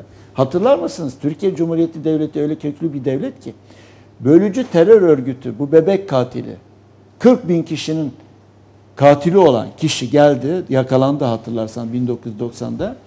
Şeffaf bir yargıyla yargılandı. Yurt dışında hiçbir mahkeme, hiçbir ülke, hiçbir devlet yargılanması kötüdür diyemedi. Evet yani Şeffaflıktan. Abdullah Öcalan yargılanması bu te- Evet, elebaşısı. Bakın şimdi demek şey- ki demek ki Türkiye Cumhuriyeti Devleti'nin böyle bir kazanımı var yargıda. O halde bölücü terör örgütü elebaşısını böyle şeffaf bir ortamda bütün uluslararası toplumun kabul göreceği bir şekilde, itirazsız bir şekilde yargılama yeteneği olan bir devleti düşünüyoruz biz. 1999-2000. E Gelin 15 yıl sonra bu devletin düştüğü duruma bak. O halde biz o o terör örgütü elebaşısının yargılandığı şeffaf bir yargıyla hareket edilseydi, bu dört bakan yargılansaydı, Zarrab şu anda orada yargılanma imkanı olur muydu? Veya yargılansa bile o devlet açıkça belgeleri uzatırdı. Kim karşı çıktı? Terörist başının Öcalan'ın yargılanması, kötü yargılandı, iyi yargılanma dedi. Hepsi şeffaf bir ortamda yapıldı. İşte bir, biz böyle bir kazanımları, Cumhuriyet'in kazanımlarını bu son 15 senede ne olduysa böyle bir duruma oldu. Kaybettik. Şimdi Maalesef bakın iyi olmadı. Bir yani. belge daha söyleyeyim size. Evet. Şimdi bırakın Rıza Zarraf yargılamayı falan. Zaten onun yargılama gibi bir durum yoktu da. Dört bakanı soruştururken Rıza Zarraf bu işin neresinde? Tam göbeğinde değil mi? Evet buyurun. Biz Rıza Zarraf'ı bizim e, e, bize tanıklık yapmaktan, karşımıza soru sormaktan imtina edecek şekilde kaçırıldı. O dönem değil mi? Tabii kaçırıldı. İstanbul Bu Cumhuriyet Meclis Soruşturma Komisyonu dönemi. Kaçırıldı. Hiç gö- yani görmekten hani imtina edildi. Şimdi dediler ki İstanbul Cumhuriyet Başsavcılığına gideceğiz. Ee, komisyon bir alt komisyon kuracak. Orada bunların bir kısmıyla ilgili belgeleri belgeleri inceleyeceğiz dedi. Dedik ki biz de 46 tane biz tanık ismi vermişiz. Rıza Zarrab bunların başında geliyor. Abdullah Happani şu bu falan. Ee, değerlendireceğiz derken gittiler oraya. Bir karar aldılar bizden habersiz bir şekilde İstanbul'da. Rıza Zarrab'ı dinleyeceğiz diye. Dinleyemezsiniz dedik. Böyle bir şeyi. Zaten Rıza Zarraf'ta bunlar çağırdılar Rıza Zarraf'ı. Rıza Zarraf da ben hastayım diye bir rapor bunlara gönderdi. Fıtıktan rahatsızmış arkadaş. Ama ölümcül bir hasta olduğunu bir de hastalık hastası zaten bu Rıza Zarraf. Ee, diye bu adam e, tanıklık ekmeden çekildi. Bunlar da onay verdiler bu işe. Ve arkadaş ertesi gün yatıyla birlikte bir yerde bir çocuğu dövdüler o, o arada. Yalnız Rıza Sarraf'ın tek başına alacağı bir karar ya da kabul ettireceği bir şey değil. Meclisin soruşturma komisyonunun eğer ifade çağrısına katılmıyorsa arkasında bir güç var demektir. Tabii, Doğru tabii. değil mi bu? Tabii tabii bak kimleri dinleyememişiz. Kimleri dinleyememişiz. Biz onların söyledikleri kişiler. Rüçhan Bayar. Rüçhan Bayar Rıza Zarraf'ın yanında Muammer Güler'in de yakını. O bir kere tanıklıktan çekildi. Tamam Türk Ceza şey e, Ceza Mahkemeleri Kanunu 48. maddesine göre çekilebilir. Ama bu durumda bizim dinleyeceğimiz adam kalmadı zaten. Evet. Barış Güler dinleyemedik. Şey Muammer Güler İçişleri dönemin İçişleri Bakanı'nın Evet. oğlu ayrıca Rıza Zarrab ifadesinde 100 bin dolar para verdiğini söyledi Evet, Amerika'daki evet. ifadesinde. Devam edin. Rıza Zarraf'ı dinleyemedik. Abdullah Happani'yi dinleyemedik. Sağ kolu o da Rıza Evet. Sarraf'ın. Kimi dinledik? Egemen Bağış'ın hizmetçisini. Kimi dinledik? Rıza Zarraf'ın hostesini. Ne kadar gayri ciddi Komik değil mi? ya, Değil mi? komik. Ne kadar gayri ciddi.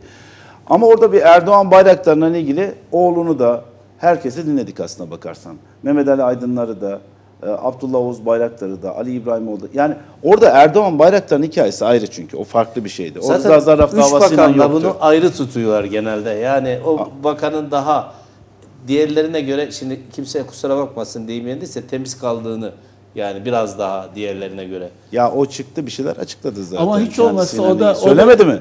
Çıktı dedi ki Fatih Bey- ben ne yaptıysam Başbakanın öyle yaptı. sizin onayınızdan yaptım diyerekten söyledi zaten. Fatih Bey hiç Onu- olmazsa o bakan da bu sizin söylediğiniz deyime temiz hani olup olma anlaşılırdı ve Türk toplumu önünde öyle kalırdı.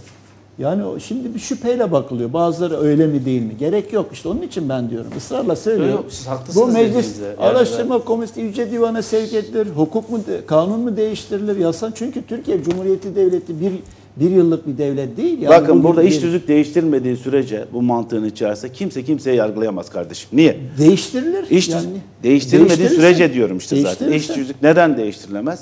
Biz şimdi soruşturma komisyonu kuruluyor mu iş tüzük gereği? İş tüzük ne demek? Meclisin anayasası demek Doğru. aslında. Bu meclisin anayasasına göre 15 kişiden oluşuyor. E 9 tanesi biz bakanları güya orada sorgulayacağız. 9 tanesi iktidar partisinden. 9 milletvekili. Biz Cumhuriyet Halk Partisi'nden 2 milletvekili, şey 4 milletvekili vardık. Ee, HDP'den 1 milletvekili, e, MHP'den de 1 milletvekili. Ya bizim hepimiz zaten e, bir araya gelsek bile 6'ya 9 yapıyor zaten. Hiçbir anlamı Ama olmayan benim bir dediğim durum yani şöyle zaten. siyasi iktidar kendisi isteyecek Yüce Divan'a sevk edilmelerini. Ya ama işte bakın iş tüzük bakın Neden? siyasi ben olaya siyasi açıdan bakıyorum. Siyasi iktidar istesin istemesin senin öyle bir sistemin olacak ki siyasi iktidar istese de istemese de öyle veya Evet, böyle evet, katılıyorum. Anlatabiliyor muyum? Ya Ben şu anı kastediyorum. Şu Siyasi an. iktidar Çünkü- yani böyle bir şey olmaz. Çünkü daimi olarak şöyle o iş tüzüğünde değişiklik olduktan sonra sen bakanı yargılayacaksan dört tane aslında hani ama ciddiyeti olması gerekiyor. Onu- onu kastediyorum. Dört tane partinin ortak bir üye sayısı ana- anayasa e, yapımı sürecinde nasıldı ona benzer koyup gerçekten de e, ortaya bir insanların güvenini oluşturacak, Tabii, tabii. karar verdiğinde güvenini oluşturacak bir hikaye yapacaksın. E sen ne yapıyorsun? Tam- Biraz önce söylediğiniz gibi. Evet. Siyasi iktidar istemiyor. O- istemedikten sonra Şimdi olmuyor. bakın Belki neye de alışıyor? ne var başka? Fat- Fatih Bey bir şey söyleyeceğim burada. Onu hazırlayın siz. Tamam. Sırada Şimdi bakın burada önemli bir konu şu. Yani bizim farkında olmadığımız ama çok önemli bir konu. Şimdi Türkiye'nin en büyük sorunu son 7-8 yılda BK sorunu var dedik, terör sarmalı var dedik. Hatırlarsanız PKK, DAEŞ, IŞİD, El Nusra, El Kaide türevi. Bir de FETÖ çıktı başımıza. Hain FETÖ terör örgütü. Şimdi bunların dışında liyakat sistemi biraz bayağı çökmüş gibi liyakat, doğru karar alması. Fakat en büyük problemi ne biliyor musunuz? Kutuplaşma içeride. Şimdi bu davalar eğer uygun şekilde kamuoyunu tatmin edecek şekilde yürütülmezse bakanların olayı, kutuplaşmayı siz kucaklayıcı bir sisteme çeviremezsiniz. Kutuplaşma olduğu sürece, kutuplaşma olduğu sürece dış politikada da başarısız olursunuz.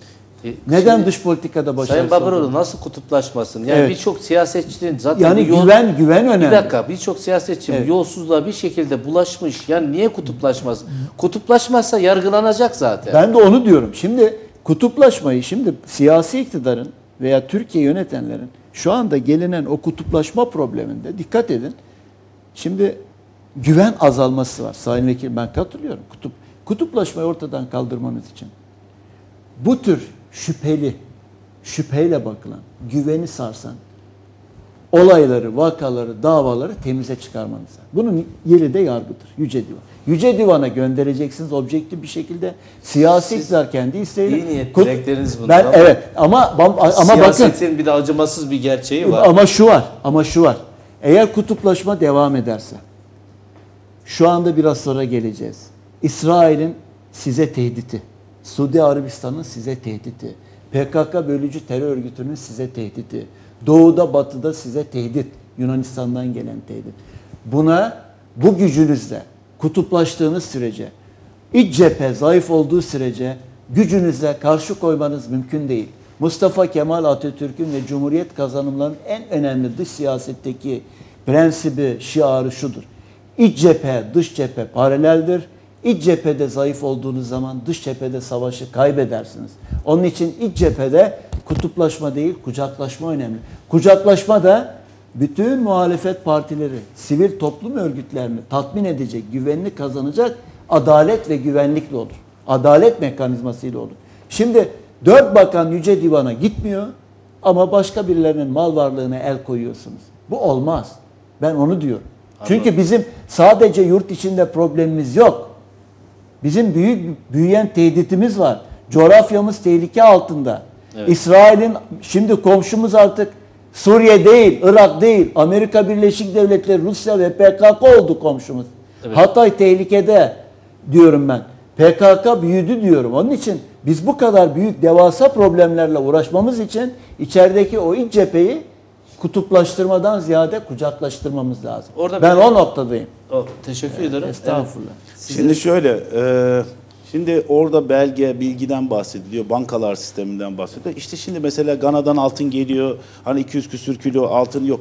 Niye kalkamıyor uçak? Ya şimdi sen beyan etmişsin e, şeyden, neydi onun adı? Gana'da bir şirket var, işte bir şirket, Master Sara diye bir şirket var orada.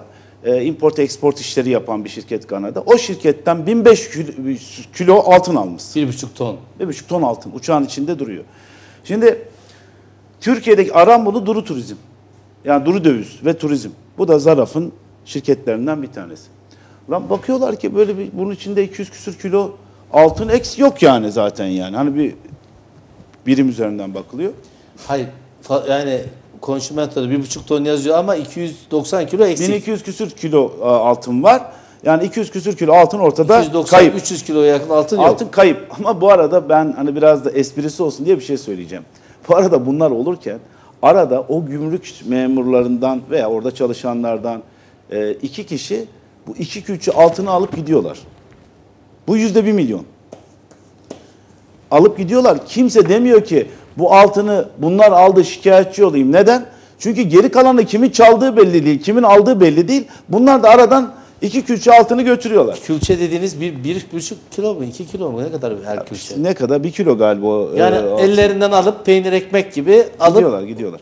Şimdi bu belge de mesela bu bunu, bu Gana'dan gelen altınların belgesi diyelim. Bu belge o. onu da gösterelim arkadaşlar. Şimdi burada diyor ki bunun kilosu 43 bin dolar. Kilosu o, da, o dönemin parası itibariyle. Evet. Ne yapılıyor biliyor musunuz? Şimdi normalde kaybolan yani 200 küsur kaybolan hikaye bu. Şu. Bu da e, ne kadar yapıyormuş? Bunun gibi çok yapmışlar da 64 milyon 500 bin dolar bu hikaye. Bu gidiyor Dubai'ye. Bu doğru. Bu Dubai'ye gidiyor. Nereye gitmesi gerekiyor bunun aslında normalde? Bunlar nereye onu götürmesi gerekiyor? İran'a. Dubai'ye gidiyor. Dubai'de hiçbir zaman İran'a gitmiyor bu. Neden? Sistemden kaçırmak için bunu bozduruyorlar orada bu altını. Bir kısmı içeride kalıyor, bir kısmı dışarıya gidiyor. Dirhem yapıyorlar. Yani İran parası. yok. Birleşik Arap Emirlikleri, Dubai parası yani Evet. dirhem yapıyorlar. Niye dirhem yapıyorlar? Sistemin içerisinde dolar olarak dönmesin ki dirhem olarak dönsün kimse bir şey anlamasın, Anlamasın diye. diye. Hiçbir zaman İran'a zaten altın gitmiyor. Hiç böyle bir ihracat yok. Bu hayali. Bunu Zarap anlattığı hikayenin hepsi bunlarla alakalı. Her biri bunlardan yani kaynaklanıyor. Ve e, şeyi de anlattı. E, o zaman bunların hepsi gerçek diye ben söylüyorum mesela. E, diyelim gerçekten adli tıp söylüyor. Ben söylemiyorum da o konuşmalar esnasında. Diyorlar ki bu işi artık gıda olarak yapalım değil mi? Öyle dediklerinde. İşte biraz önce gösterdim. Onun da evrakları var aslında komple e, gemilerin. Ya gemi 5000 ton gross tonluk. Zaten Mehmet Hakan Atilla şunu söyledi. Ben de öyle söyleyince bazı e, partililerimiz de bana kızdılar. Ya sen bu Mehmet Hakan Atilla'yı mı koruyorsun diye. Yani ben bu Mehmet Hakan Atilla dedim ki ya bu aslında günah keçisi dedim yani. Ya Türkiye Cumhuriyeti Devleti kendi bankasının genel müdür yardımcısından uğraşmıyor. Rıza Zarraf'la uğraşıyor. Onu alalım aman diye tamam mı?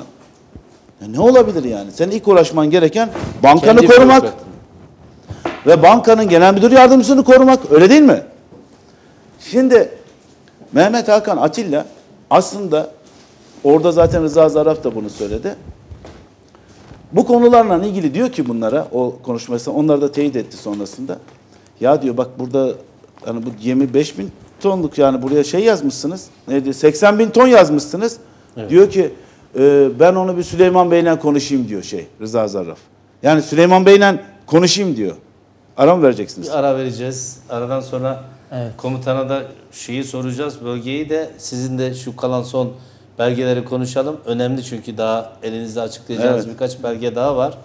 E, bizden ayrılmayın az sonra çok önemli Rıza Zarrab'la ilgili ve Türkiye'deki yolsuzluğun boyutuyla, rüşvetin boyutuyla ilgili çok önemli belgeler geliyor. Sakın bizden ayrılmayın. Türkiye Nere'den tekrar merhaba. Son bölümdeyiz. Amerika'ya bağlandık. Zeynep Gülcanlı'dan Rıza Zarrab davasını aldık. Ve Erdal Aksünger'den yine New York'un havasını aldık. Belgeler var. Belgeleri ciddi ve biçimli bir şekilde bize açıkladı. En azından davanın buraya nasıl geldiğini, e, Türkiye'nin başının nasıl belaya girdiğini, siyasetçilerin hangi işlere ne kadar bulaştığını, Yüce Divan sorgulaması olan soruşturma komisyonu, meclis soruşturma komisyonunun neden sonuç alamadığını, sonuç alamadığı için de Amerika'nın Türkiye'deki bir olayı yargılama hakkını kendisinde bulduğunu söyledi Sayın Naim Babiroğlu. Bunları konuştuk ee, ve son bölümdeyiz.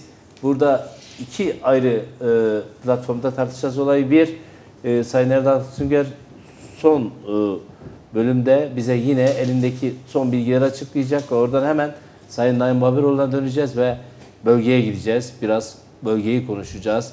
Türkiye'nin çektiği sıkıntıları konuşacağız. Bölgedeki yeni gelişmelerin Türkiye'ye nasıl geri döneceğini, nasıl etkileyeceğini konuşacağız. Ee, Sayın Aksünger, e, sizin yarıda bırakmak istemedim ben. Bir şeyler anlatıyordunuz. Onu tamamlarsanız eğer. Şimdi bir kere bir şu var. Türkiye bundan sonraki süreci nasıl yaşayacak veya oradaki davanın buraya etkileri ne olacak tarzında ve süreç nasıl geçecek onları da bir konuşmak lazım. Buyurun. Çünkü burada milli davaya döndürülen bu işte şöyle bir problem de var. Belki o çok önemli olacak.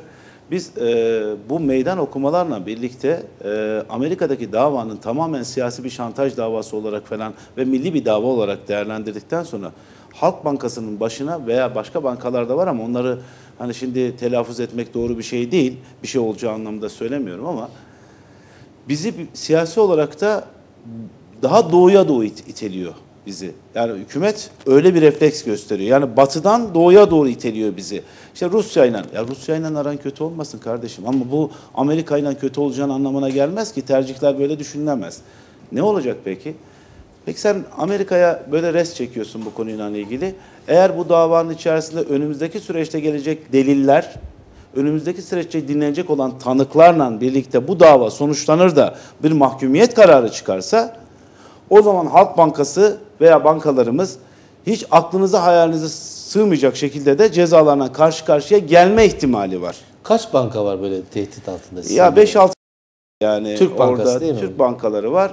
İşte bir tane TMSF'nin elindeki bir Türk Arap Bankası meselesi var. Zaten biraz bu benim söylediğim e, e, korkunç senaryolardan biri. Cumhurbaşkanı veya Başbakanı aslında e, sıkıntı yaratmak istedikleri bu komploya döner çünkü o zaman. Yani bu ülkenin Cumhurbaşkanı sıkıntı? şöyle yani orada e, terörün finansmanına ilgili orada söyleneni söylüyorum yani. Terörün finansmanına ilgili bir transferin olduğu noktasında ki bu doğru mu yanlış mı bilmiyoruz. Önümüzdeki süreçlerle ilgili bunlar konuşuluyor. Eğer böyle bir şey gerçekleşirse o konuyu hiçbirimizin kabul etmesi mümkün olmayacak. Yani Türkiye'nin Cumhurbaşkanına, Başbakanını tutuklama dışarıya çıkartmakta tutuklama gibi bir olayla karşı karşıya kalacaklar. Yani Terörün finansmanı eğer e, ispatlanırsa yani Türkiye'nin terörü finanse ettiği mi? Arka planda sanki bence şöyle bir şey yapılıyor. Bir davanın görünen yüzü var, bir de davanın görünmeyen yüzü var. Savcılar bir yere gelip duruyorlar bir yerde. Hani biraz önce de bahsettik. Bu çok ağır bir iddia ama Türkiye için değil mi? Tabii çok ağır yani hani ağırın ötesinde çok kötü bir şey bu Yani zaten. Türkiye yani. Cumhuriyeti Devleti'nin e, temsil etme yeteneği, yurt dışında temsil etme yeteneği, her ne olursa olsun insan kendi kırığını, kendi şeyini kendi ülkesinde sarmalı, tedavi etmeli. Yani bu yurt dışına eğer bu iş açıldığı zaman sizin dediğiniz gibi eğer bir Cumhurbaşkanı, Başbakan'a yönelik bir tehdit varsa bütün Türkiye buna ortak tavır almalı ama yani e, tam da istemediğimiz yönde gidebilir değil mi? Sizin Hayır gidebilir. istikamet? Mesele zarraf dava olayından çıkıyor orada. Artık başka konulara geliyor. Herkes şöyle de e, bunu düşünüyor olmasın. Bir, e, o cemaatçilerin yaptığı kumpasa şeyde bilmem devam ediyor. Benim gördüğüm şu.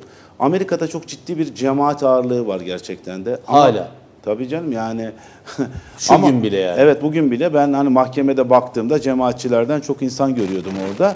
Ama bu cemaatçiler oraya yerleştiren mevcuttaki bu iktidar Mahkemeye aslında. niye geliyor Fethullahçılar? FETÖ terör örgütünün mensupları. Yani e, bu aslında en büyük problemlerden bir tanesi de bence bu. Yani onların o davaya geldikçe inandırıcılığını yitiren bir davaya dönüyor aslında bir yerinden. Bu bence de çok sakıncalı bir olay zaten. Çünkü mahkeme salonunda ben bu tür insan yani şöyle FETÖ'cüleri ben tanımam da oradaki arkadaşlar çok iyi tanıdığı için bizim temsilcilerimiz, partilerimiz var orada.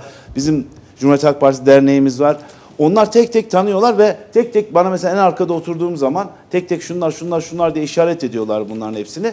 Zamanında buraya gelmeleri nedeni zamanında burada çok onlar muktedir kılınmış Amerika'da. Çok muktedir. Yani bu iktidar döneminde müthiş güçlenmişler orada yani. Hatta Amerikan makamlarına, diğer ülkelerde de öyle olmuş. Ciddi referanslar iktidar tarafından verilmiş zaten. Peki bunlar oraya o davayı Niye yön- geliyorlar? yönlendirmek, davayı etkilemek adına mı geliyorlar yoksa bir lobi, bir kulis oluşturup o davayı izlemeye gelenlere bakıp biz hala ayaktayız mesajı vermek için mi geliyorlar? Şimdi etkilemek açısından baktığım zaman ne kadar ve hangi bölgede çünkü devletin içine yani Amerika'da devletin içinde de adamları olduğu noktasında hani bir şey kafaya gelebilir. Her yerde öyle bir şeyler yapıyorlar ama burada öyle bir şey yok bence. Federal yargı bu işe çok garip bakıyor çünkü. Yargıç da, savcı da farklı yönden. Neden böyle bakıyor? Bize şu FETÖ olayını ve e, işte cemaat olayının e, iktidarın savaşını anlatacak birini bulun dediler. Anlatabiliyor muyum? Yani nedir bu konu diye, hani detayı nedir diye bunu anlatın. Ama şu var. Biz ayaktayız gösterisi senin söylediğin şekilde var. Yani orada olmayla verilen görüntü bazı gazetecilerde cemaatçi zaten onlar da FETÖ'cü falan filan insanlar da var bunlar. Ama orada biz varız hani meselesini göstermeye de çalışıyorlar bir yerinden. Ya Bunu kim yaptı? Ya arkadaş siz oraya milyonlarca dolar para harcamışsınız. Bunlara her türlü referansı vermişsiniz komple. Amerika'da çok etkin etmişsiniz bunları. Hatta e, senatoya yani senatörlere temsilen meclisteki üyelere bile referans olmuşsunuz. Amerikan devletinin referans olmuşsunuz. Bir de mesela burada yanlış bilinen bir şey var. CIA zamanında aslında Fethullah Gülen'in 98 yılındaki meselesinde ke- onların belgeleri de çıktı. Eee şunu söylüyorlar. CIA onun e, green card almasını istemiyor. Şey garip olan da tam tersi değil mi? Aslında CIA sanki Evet. böyle bir şey istiyormuş gibi falan tarzı. Hayır onun belgeleri çıktı ortaya. Hatta e, Razi Canikli e, bunları yazdı aslında. Hürriyet'in e, Amerika'daki, New York'taki e, temsilcisi arkadaşımız. E, orada şunu söylüyor. Daha sonra bunlar mahkemeye başkalarının yani özellikle 2002'den sonra bu iktidarın büyük referanslarıyla her yerde kendilerine ciddi bir yer buluyorlar.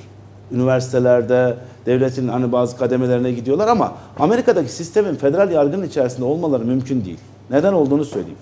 Trump eee, bu işi siyasi olarak kapatmak istediği kesin. Öyle veya böyle istiyor bunu zaten. Ama federal yargıya Trump'ın lafı geçmiyor.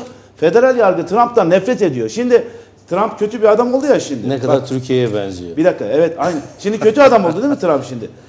Trump'a karşı federal yargı kö- kötüydü. Şimdi Trump daha da kötü oldu. O federal yargı e, Müslümanlara uygulanan vize ve giriş yasağını kaldıran ya, e, federal yargı o. Bu o yargı yani. O yüzden birbirinden düşmanlar değil mi? Ama daha kötü bir şey daha söyleyeceğim. Bu Trump giderse bizim aslında e, hükümetin yaptığı en büyük hatalardan bir tanesi de o. Gidip Mike Pence'den görüşüyorlar mesela. Başkan yardımcısı. Ee, Cumhuriyetçilerin aslında güçlü adamı McCain. Yani o ayrı bir şey ama şu anda hükümetin aslında ikinci adamı Mike Pence. Ya ben Mike Pence'i aslında gördüğümde diyorum ki Türkiye açısından söylüyorum. İnşallah Trump gitmez.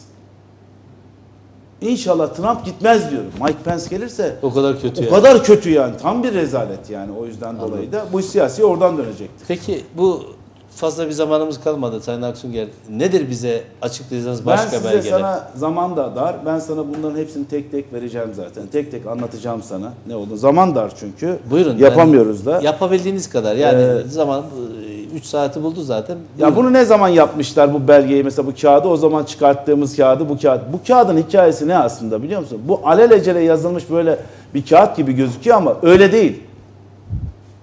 Öyle Bu- değil. Bu e, Zafer, Piyano, o kağıt bilmem ne. Zafer Çağlayan'a e, verilen 700 bin liralık saatin bir e, otel mi o restoran mı? Konrad, Konrad İstanbul. Neyse onu çok Şimdi bununla birlikte hangi belgeler olduğu burada var çünkü. Bununla birlikte piyanodur, saattir, şudur, budur diyor ya bunların hepsi. Arkadaş bunların hepsi buradaki Onun tapelerin içi. arkası da var herhalde. Onu da bir bakalım ne var orada. Bu saat yani artık o çok klasikleşmiş saat. Arkadaşlar arkaya anladım. koymuş onunla ilgili hangi saat olduğunu koymuş. Bunu getiren adamı biz dinledik soruşturma e, e, komisyonunda onu söyleyeceğim. Ya adamlar anlattı zaten bunun hepsini. Şimdi kalkmışlar tapelerdekilerin hikayesinin yanlış. E peki adamın anlattığı Marka da mı yoksa yanlış? o saati de bir gösterebilir miyiz eğer marka çok Marka var. Ha. Ee, ya, Uzaktan gösterin bir yani. gösterelim, bir baksın Marka, arkadaşlar. ha, saatte marka var tabi de. Ha, yok çok önemli değil o. Ha, o burada yaz. Yani Zafer yazıyor. Çağlayan aldığı saat 700 bin lira, 300 bin frank mı orada yazıyor? Evet 300 bin franklık İsviçre frangı bu. Yani Türk parasıyla ne kadar şu an? Bugün herhalde 1 milyon küsür. Bir trilyon. Yani Evet. eski parayla. Ne güzel değil mi daire parasına? Evet bir E, saat. birkaç tane daire parasına falan filan bir saat var yani. Buradaki belgelerin bakın bunların sahteliği konusunda niyeyi söylüyorum biliyor musun? Mesela bu bir, bir örnek belge bunlar. Bu sahte mi? Doldurmuşlar bunlar. Kendileri doldurmuş bunların hepsini. Zaten adam diyor ki bak ne ne diyor? Zaraf da onu söyledi mahkemede. Dedi ki çocuklara İran'dan bir belge gelmesi lazım. Bizim transit ticaret yapmamızla ilgili olarak o belgelerden bir tanesi bu. Diyor ki kendisi söylüyor bunda. Diyor ki çocukları telefon açıyor buna. Ya diyor böyle bir belge eksik. Halk Bankası bu belgeyi istiyor diyor. İşte bu e, adamlar konuyu bilmiyorlar. Bu da diyor ki ya Photoshop diye bir şey var. Yaşasın Photoshop diyor. Tamam mı? Basın diyor Photoshop'ta verin diyor Halk Bankası'na olsun. Tekrar gösterebilir misiniz o kameraya göre? Yani Photoshop mu şimdi bu? Tabii. Bu bir fatura mı aslında? Ya bir konşimento tarzında bir şey yani. Peki bunu Photoshop'la neyin düzenli rakamları mı yoksa tümüyle e, konşimentonun tümünü mü düzenliyor? Şuradaki bilgilerin hepsi e, şey uydurma bilgiler yani. Anladım. Hayali ihracat için uydurma bilgiler bunların hepsi komple. Ha buna benzer bir sürü belge var da zamandar paşama da zaman kalsın diye ben e, bunları e, beraber seninle konuşacağımız başka bir şey yapalım. O zaman konuşalım Ha, istersen. buyurun devam edin. Bir Şimdi 9 dakikanız daha var. Evet. Buyurun. Şimdi şöyle, bence e, burada esas e, üzerinde durmamız gereken konulardan bir tanesi bu konuyu kapatmaya çalışan iktidarın neden bunu kapatmak istediği konusundaki hikaye. Neden bunu bir milli davaya döndürmek istediği hikaye. Çok basit. Şimdi e, bu işin ucu, siyasi ucu Türkiye'de eğer yargı kurulsaydı, biz yine aynı şeyleri konuşuyoruz ama devamlı olarak, iktidarın bakanlara dayanacağı açık ve aşikar kardeşim. Ama bu ilişki bütünlüklerinin kimleri götüreceği konusu da başka bir konu. Yani mesela orada e, bankalardan ilgili şeyler çıktığında, aktif bank meselesi çıktığında kimin adı geçti? Egemen Bağış'ın adı geçti. Şimdi kimin adı geçiyor? Bilal Erdoğan, şey, e, Berat abi. Berat Albayrak'ın adı geçiyor. O dönemin e, şeyi kim aslında? Aktif Bank'ın genel müdürü. Bu arkadaşlar. Akrabalar yani. Hepsi komple Aktif Bank'ta. Peki O zaman e, Aktif Bank'ın dahil olduğu e, holdingin genel müdürü Berat Albayrak tabii ki. Oranın başında, en başındaki Evet. adam yani. Onu söylüyorum. Peki Ziraat Bankası ve şeyle ilgili bir şey söyledi orada. Ben ama orada bir yanlış olduğunu düşünüyorum şundan dolayı. Ali Babacan ve e, Başbakan meselesiyle ilgili Zafer Çağlayan'ın Rıza Zarraf'a söylediği bir kelime var. Rıza Zarraf diyor ki, o demiyor, e, birileri söylüyor. Diyor ki Rıza Zarraf'a, Ziraat Bankası da Vakıf Bank'ta bu işleri yapmak istiyor diyor. Bunu söylerken. O da diyor ki ya bu işleri beceremezler ama diyor Rıza Zarraf. Bu sefer Zafer Çağlayan diyor ki orada anlattı. Ben başbakanla da görüştüm. Ali Babacan'dan da görüştüm. Onlar da onay verdiler. Bence bu konu ya- yanlış. Niye olduğunu söyleyeceğim. Bu Rıza Zarrab'ın Amerika'daki itirafları değil evet, mi bunlar? itirafları. Yani bu kendi ağzından itiraf. Kendi ağzından itirafları. Evet. Hani e, o dönemin başbakanı ve Ali Babacan'ın buna onay verdiğini söylüyor. Benim bugüne kadar izlediğim bütün süreçte başbakanın ismi buralarda hiç yok zaten normalde. Bu dosyanın içerisinde yok. Dönemin Başbakanı Recep Tayyip Erdoğan. Recep Tayyip Erdoğan. Ve ismi geçmiyor. Yok burada yok yani patronaj var, şu var, bu var bir bir şeyler anlatılıyor ama Ali Babacan ve Mehmet Şimşek'le ilgili de şöyle bir konu vardı. Ya eğriye eğri doğruya doğru söylememiz lazım. Bunlar ya şey yani ben bunları nasıl söyleyeyim? Ben Mehmet Hakan Atilla'nın günah keçisi olduğunu söylerken arkadaşlar bana hani bazı yerlerden serzenişte bulunuyorlar ama ama adam emir kulu. Adam emir kulu yani. En yukarıdan emir veriyorlar adamlara. Hatta çağırıyor yanına. Rıza Zarraf Süleyman Aslan'ı arıyor. Diyor ki ya diyor bu Mehmet Hakan Atilla bu konuları bilmiyor galiba. Sen anlatır mısın diye. "E, tamam diyor ben şimdi şey yaparım. Mehmet Hakan Atilla'yı aşağı çağırıyor Süleyman Aslan. Bu işler olacak kardeşim diyor. Ha, şimdi bu adam yapacak mı yapmayacak mı bu işi? Yapmazsa işinden olacak. Böyle bir durumu var. Aynı şey Ali Babacan ve Mehmet Şim- Şimşek için geçerli. Niye? Bu Rıza Zarraf'ın konuşmaları esnasında tapelerde söylediği ve ayrıca beyanlarında da aynı şeyleri söyledi. Ya bu işleri bozmaya çalışan adam Mehmet Şimşek'le Ali Babacan olduğunu söylüyor. Ben de diyorum ki hani bu Vakıfbank ve Ziraat Bankası konusunda Zafer Çağlayan'ın onay verdiğini söylediği bu kişiler meselesini Zafer Çağlayan bence manipüle etmiş olabilir veya konuştum demiş olabilir. Çünkü onlar öyle değildi. Öyle öyle bir şey yok. Ha anladım. Yani Zafer Çağlayan kendi gücünü e, şeye Zazarab'a karşı daha güçlü görünmek için ufak tefek yalanlar söylemiş Tabii olabilir yani- diyorsun. yani olabilir. Bu bir Ben- iddia diyorsunuz. ben- Ya şimdi çünkü bunun içinde hiçbir yerinde bütün insicamına baktığın zaman şu vardı. Ali Babacan Rıza Zarrab için tehlikeli bir adamdı. Mehmet Şim- Şimşek tehlikeli. Bu ikincisinin dışındakilerin de hiç öyle tehlikeli bir tarafı olmadığını söylüyordu. Çünkü herkesi parayla satın alabiliriz diyordu. Ama bu ikisi karşı çıkıyor diyordu her şeye. Tehlikeli bunlar diyordu tamam mı? Soruşturuyorlar bilmem. E şimdi e, Zafer Çağlayan diyorsa ki Başbakanla Ali Babacan bunu onayladı. Bence bu doğru değil. Yani do- doğru değil tamam da ancak e, davada öyle itiraflar, öyle şeyler, öyle belgeler ortaya çıktı ki yani Türkiye'de düşünebiliyor musunuz? E, BNP Paribas'a 8 milyar dolar değil mi? Yaklaşık bir, 9 milyar dolar, Civarında- 8.9 milyar dolar. bir ceza kesildi. Şimdi eğer bu belgeler Deutsche Banka'da e, şey e, e, Commerzbank'da Almanya'da İş çok Banka'da büyük. Evet. 100 milyon euroya kadar indi yukarıdan aşağıya. Şimdi bu 5 bankanın eğer Türkiye'de e, bu belgelere dayanarak, bu itiraflara dayanarak, o Türkiye'nin gönderdiği avukatın suçlamalarına dayanarak eğer böyle bir ki büyük ihtimalle e, Amerika'nın böyle bir şeyi gelecek gibi görünüyor. Uluslararası bir yaptırımı gelecek gibi görünüyor.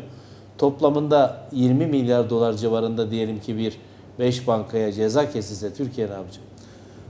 Şöyle ekonomisi çok ciddi sıkıntı sıkıntıya girer. Hepimiz sıkıntıya gireriz zaten. Bunun bedelini halk öder. Zaten milli davaya döndürmek istedikleri de kendileri ödemesin. Bu bunu da halka yüklemek bence. Çünkü ne olacak? Amerika bize kum, kumpas kuruyor. Am- Amerika bize komplo yapıyor falan tarzında bir Parayı şey. siz Halk- ödeyin. E, öyle olursa durum buna dönecek o zaman. Bence buradaki başka bir problem de şu. Eğer bu kararlar neticesinde orada alınan Birleşmiş Milletler'e götürür, bunu ispatıyla birlikte götürürse, orada Güvenlik Konseyi'nde de bunu onaylattırırlarsa Türkiye başka yaptırımlarla da karşı karşıya kalabilir. Ha burada ekonomik olarak parayı ödemek ayrı bir şey. E, Senin daha sıkıntılı, hani ambargo, şu anda neredeyse kısmi ambargo var Türkiye'ye. Ha bir dakika o çok önemli dediğiniz Birleşmiş Milletler Güvenlik Konseyi kabul ederse Türkiye ambargo da gelebilir diyorsunuz. E, Onu ispat edip İran sen benzeri anlaşmaya gitmezsen bazı şeylerle ilgili İran, İran benzeri yani. E, tabii o kadar olması mümkün değil de biz o, o tarzda bir ülke Evet. değiliz ama e, mümkün değil öyle olması ama e, onun bile bizim ekonomimizi yerle bir edeceğini düşünün. İran'ın bakın petrolü ve doğalgazı var. Bizim neyimiz var şu anda? Hiçbir şey. İ- Bizim bütün ihracatımızın yüzde yetmişi ithalata bağımlı ya. Sen dışarıdan mal alamazsan ihracat bile yapamıyorsun. Bir de şu Bunların var hepsi- tabii. E, yani sadece Birleşmiş Milletler kapsamında düşünmemek lazım. E, Rusya ile yapılan silah ticaret anlaşmalarında ABD Kongresi'nin bir çalışması var. Rusya zaten Rusya'ya bir ambargo uygulama var. Arttıracak ABD. Rusya ile silah ticareti yapan üçüncü ülkelere de ambargo durum var. Kim tarafından? ABD tarafından. O da çok önemli. Yani illa Birleşmiş Milletler. Tabii o bu davayla ilgili değil. Neyle ilgili? S-400 füzeleri, Rusya ile yapılan silah ticaret anlaşmaları üçüncü ülke. O Birleşmiş Milletler'in ve bu davanın da dışında. O çok önemli o. O da ABD Kongresi'nde çalışma yapılıyor ve başkanın onayına sunulmak üzere. Eğer üçüncü ülkelere yani Türkiye NATO'nun tehdit olarak gördüğü, ABD'nin ortak düşman olarak gördüğü Rusya'dan S-400 gerçekten alım durumuna geçerse o zaman 1974'e benzer bir ambargo ile karşılaşabilir. Bu bir. Bir de Sayın Vekilimin dediği gibi E, Nasıl olacak? bu Başar bankalar vasıtasıyla bankalara verilecek o cezalarla Türkiye'nin ekonomisi de sarsıntıya uğrayabilir. Nasıl nasıl kalkacağız bu işin altından? İşte yani bu yani evet. Türkiye bu çıkmazsa bu açmazsa nasıl sürüklendi? Şimdi bu, Ciddiye tabii alınması onu, onu, gereken bir konu onu yani. soruyorsanız cevaplayayım. Buyurun buyurun sorarım tabii. Niye sormuyorum? evet. Soruyorum Evet. tabii. Şimdi tabii e, bu çıkmazdan nasıl yani böyle bir sıkıntıdan nasıl çıkar? Şimdi şöyle. Şimdi e, Türkiye yönetenler biliyorsunuz ortak değer olarak Atatürk etrafında birleşme durumunda bir adım attıklarını söylüyorlar. Şimdi o zaman tabii Atatürkçülük veya Kemaliz, Kemalizm ortaya çıkıyor. Atatürk'ün veya Kemalizmin dış politikası nedir diye baktığınızda bir gerçekçi bir politikaya dayanıyor. Atatürk'ün dış politikası. Nedir gerçekçi? Yani mesela Şam'a 6 saatte gideriz demeyen bir politika. Mesela Esad'ı devireceğiz demeyen bir politika. Hayalci olmayan, ihtiras olmayan, gerçekçi. Bir de milli güce dayanan bir politika. Milli güce. Yani milli güç neyse onun üstüne çıkmayan mantıklı bir politika hedefler. İki, Atatürk'ün en önemli özelliği milli menfaatler, ulusal çıkarlar doğrultusunda, ulusal çıkarları esas olan, milli menfaati esas alan bir dış politika. Nedir bu? Yurtta barış, dünyada barış ekseninde yapılan bir politika. Ama bazılarının yurtta barış, dünyada barış politikası dediği, elinin tersiyle ettiği, pasif dediği, küçümsediği bir politika değil. Eğer öyle olsaydı Mustafa Kemal Atatürk'ün bu politikası mesela pasif dedikleri yurtta barış, dünyada barış politikası gerçekçi, ihtirasa, hayalperestliğe dayanmayan milli gücü esas alan 1934'te o zaman Milletler Cemiyeti'ydi. Birleşmiş Milletler'in adı. Birleşmiş Milletler Milletler Cemiyeti Türkiye'yi kendisi davet etmezdi. Atatürk'ün zamanında 1934'te o yurtta barış, dünyada barış denilen pasif politika olarak küçümsenen politikada Türkiye davet edilmiştir Birleşmiş Milletler tarafından. İki, 1938'de Hataylı olmaktan büyük gurur duyduğumuz Hatay, medeniyetler şehri Hatay'ı tek kurşun atmadan yurtta barış, dünyada barış politikasıyla anavatan toprağına katmıştır. Üç, İsmet Paşa zamanında İkinci Dünya Savaşı dışında Türkiye'yi İkinci Dünya Savaşı dışında tutlam, tut, tutmayı başaran bir diplomasi başarısıdır yurtta barış, dünyada barış. Ve babaların çocukları gömmelerini engellemiştir o İsmet Paşa politikası. Türkiye 2. Dünya Harbi'nin dışında tuttu. Peki bu politika İki, bizi nereye götürecek? 1974 Kıbrıs Barış Harekatı'na gelelim. Kıbrıs Barış Harekatı'nda Ecevit, Erbakan'la, milli görüşle Ecevit yani Cumhuriyet Halk Partisi'nin geleneğini sürdüren Demokratik Sol Parti ve Cumhuriyet Halk Partisi o zaman 1974 Kıbrıs Barış Harekatı Cumhuriyet Halk Partisi soydaşlarımıza haklarını savunmak için Kıbrıs Barış Harekatı yapmıştır. Kime rağmen? Önemli. Amerika Birleşik Devletleri'ne rağmen, ambargoya rağmen, batıya rağmen ve emperyalistlere rağmen yapmıştır. NATO'ya rağmen yapmıştır. O yoksul anında Türk Silahlı Kuvvetleri'nin yetersiz olduğu anda başarıyla, zaferle yapmıştır. Ve oradaki soydaşları zulümden kurtarmıştır. Şimdiki durum paşam. Evet. Şimdi o politika ne diyorlar? Efendim bu yurtta barış, dünyada barış pasifti.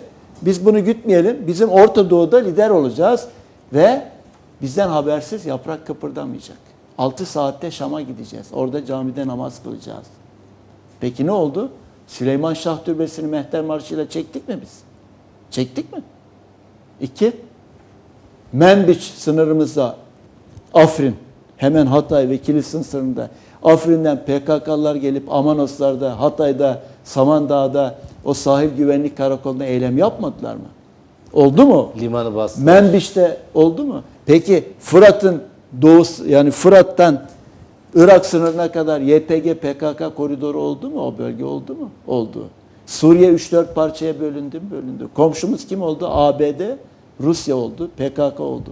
Peki Kerkük'te 2003'te tapu ve nüfus kayıtları yakıldı mı? Yakıldı. Peki Atatürk'ün gerçekçi yurtta barış, dünyada barış en aktif politikadır. Yakılmasına müsaade eder miydi?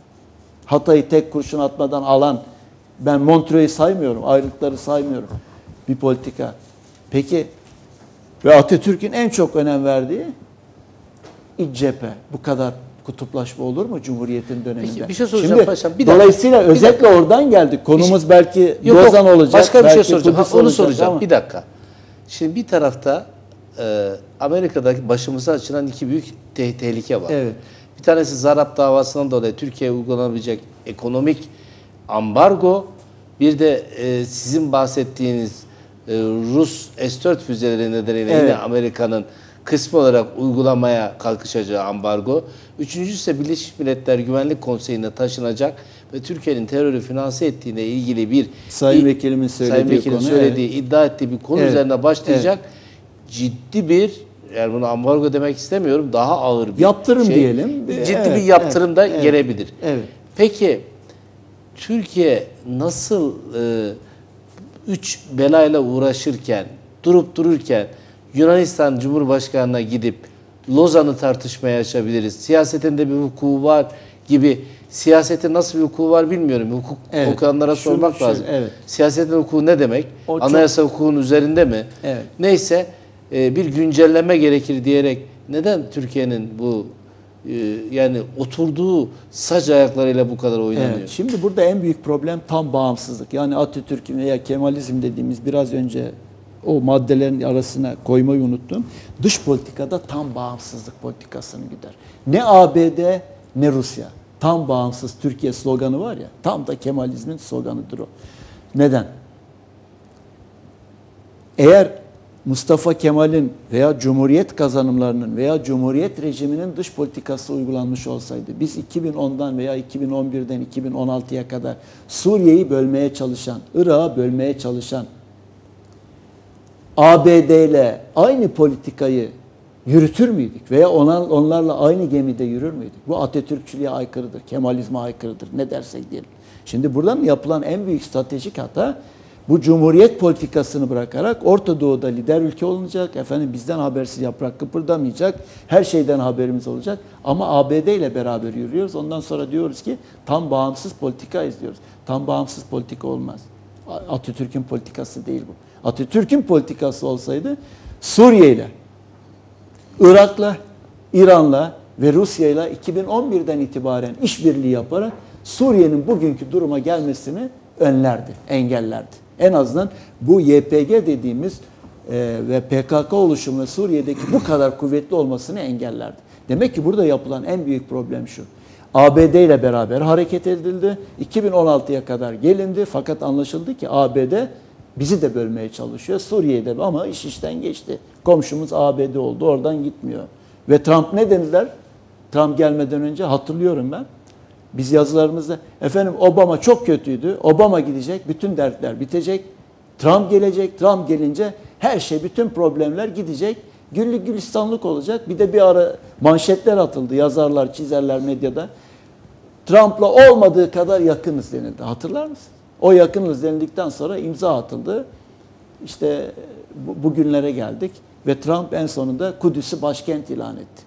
Trump'a yakınlık bu mu Kudüs'ü başkent? Veya YPG'ye verdiği Obama'dan daha fazla silah yardımı sağladı. Çıkıp biz Trump konusunda yanıldık diyebilirler mi? ya yanıldık. şimdi şimdi bu yazar bir şey- çizerler dediğimiz medyadaki Paşam bir şey Evet. daha söyleyeyim Evet. size. Şimdi Rusya da aslında PKK'yı terör örgütü olarak Ben görmüyor. onu ben bir şey demiyorum. Hayır, hayır, onun şundan demek istiyorum birincisi.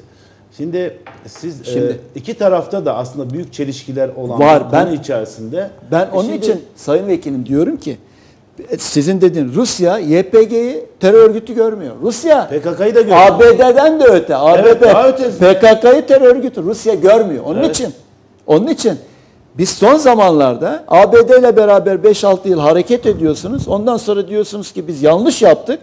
Yanlış yaptıktan sonra doğrudan bütün ekseninizi Rusya'ya kaydırıyorsunuz. E, Rusya dediğiniz gibi PKK'yı terör örgütü görmüyor. Moskova'da ofisi var. PKK'nın karşı YPG'yi terör örgütü görmüyor. İlave olarak YPG'yi Astana sürecine masaya dahil etmek e, istiyor. öyle. Şimdi dolayısıyla Atatürk'ten kopan, o yurtta barış, dünyada barış o en aktif politika, tam bağımsızlık, anti-emperyalist politikadan koparsanız eksen bir o tarafa bir o tarafa ve oradan S-400 füze alma durumuna gelir. S-400 füze alırsanız o zaman diyorlar ki NATO'da üyeliğiniz tartışılıyor. Ve diyorlar ki efendim NATO'dan çıkalım. E çıkın kardeşim NATO'dan. Eğer tam bağımsızlık politikasını uyguluyorsan ben de destekliyorum. Çıkın. Eğer anti-emperyalizm Atatürk'te olduğu gibi tam bağımsızlık, kendi gücünüze dayanan milli bir güç, bir politika uyguluyorsanız çıkın. Ama çıktıktan sonra kendi milli savunma sisteminizi oluşturmuş musunuz? Yok kendi bir hava savunma sisteminiz, milli gücünüzle oluşturduğunuz hava savunma sisteminiz etrafınızdaki, çevrenizdeki tehditleri bertaraf, bertaraf edecek durumda mı? Yani bugün Putin iyi. Bir sene sonra YPG'ye çok yardım etti. YPG özerk ve federe yapı verilmesi konusunda ABD ile anlaşmış. Ortaya çıktı bu. Astana sürecine dahil etmek istedi. Uzaklaştınız Putin'den. E Putin'den uzaklaştınız. Kendi savunma sisteminiz hem Putin'in hem ABD'nin hem PKK'nın hem diğer terör örgütlerinin tehditlerine karşı gelecek durumda mı? Değil. O zaman NATO'dan çıkmanız için bunları tartışmanız lazım. Böyle bazı yazar çizerler çıkalım. Ben de istiyorum çıkalım. Ama çıkmanız için son 15 yıldır uygulamanız gereken şuydu. Bizim milli savunma sistemini nasıl oluşturabiliriz? İsrail'in oluşturduğu gibi. İki, kendi hava savunma sistemimizi nasıl oluşturabiliriz? Bu bölgede nasıl ekonomik bir güç oluruz? Bu da nasıl olurdu? Mustafa Kemal Atatürk'ün uyguladığı dış politikalı olurdu. Bu da zaten ispatlanmış. Biraz önce söyledim. Hatay alınmış mı? Alınmış. Kıbrıs Barış Harekatı'nda yapılmış mı? Yapılmış. En zor durumda. Ambargoya rağmen. E siz ne yaptınız? Belli. Ege adalarına gelelim. Ege adaları 19 ada adacık. Yunanistan bir fiili durum yaratmış. Egaidak diyoruz. Yani Yunanistan'a hukuki anlamda, uluslararası hukukta Yunanistan, Ege, Ege'de Yunanistan'a antlaşmalarla devredilmemiş ada ve adacıklar statüsündedir. Bu devredilmemiştir. Peki devredilmeyen bu adalar zamanının başbakanı tarafından Kardak Kayalı savaş sebebi sayılmıyor muydu? Sayılıyordu. Peki ne oldu da 19 ada adacık Yunanistan'ın fiili işgali altına girdi de ve ses çıkarmıyoruz? Yani siz o zaman şöyle bir durum ortaya çıkıyor gerçek. Savaş tarihi, siyasi tarihi açısından Atatürk'ten ne kadar uzaklaşırsanız bu milletin başı o kadar fazla belaya girer. Ne kadar cumhuriyete sarılırsanız, Atatürk'ün dış politikası ilkelerine sarılırsanız bu millet o kadar refaha, huzura, mutluluğa Size kavuşur. bir şey soracağım Bu hükümetin hocam. son bir şey. Bu hükümetin size yapması. soracağım Evet, size. Size evet. sorayım da. Tamam. Şimdi Lozan'la ilgili bu tartışmalar varken Yunanistan'da hani biraz da aslında gündem tabii farklı bir yere gelsin diye söylemiyorum. Bunun birincisi şu. Gerçekliği noktasında siz hani bu konulara hakim de bir insan Evet. olarak söylüyorum. Avrupa Birliği'yle imzalanan bütün e, aslında sözleşmelerde geçmişe dönük olan yapılmış antlaşmaların geçersizliği konusu diye bir şey var mı? Bir. Birincisi bu. İkincisi- Lozan'la ilgili değil mi? Lozan veya hepsi. Evet, Yani, evet. e, o değil. Birincisi bu. Ya oraya dayandırmak Tabii, isteyenler tabii, de var tabii. bunu. İkincisi sizce Cumhurbaşkanının kastettiği şey ne? Evet o önemli. O çok önemli. Şimdi bunu Lozan Antlaşması bir ara bazı yöneticilerimiz dediler ki Lozan efendim istenilen alınmamıştır. Lozan hezimettir veya Lozan iyi olmamıştır. Yani masada Lozan Barış Antlaşması Türk İstiklal Savaşı'nın sağladığı Türk milletinin en önemli yaşamsal, hayati haklarını gerçekleştirdiği büyük bir za- zaferdir. İkincisi Lozan Barış Antlaşması hem silahın hem de siyasetin en büyük zaferidir. Türkiye Cumhuriyeti Devleti uğruna. 24 Temmuz 1923'te imzalan. Neden? Bakın kim diyor bunu? Ben demiyorum. Tarihi belgeleri okuyorum. Diyor ki İngiliz devlet adamı Churchill. Churchill biliyorsunuz dünyanın önemli gelen siyaset adamlarından biridir.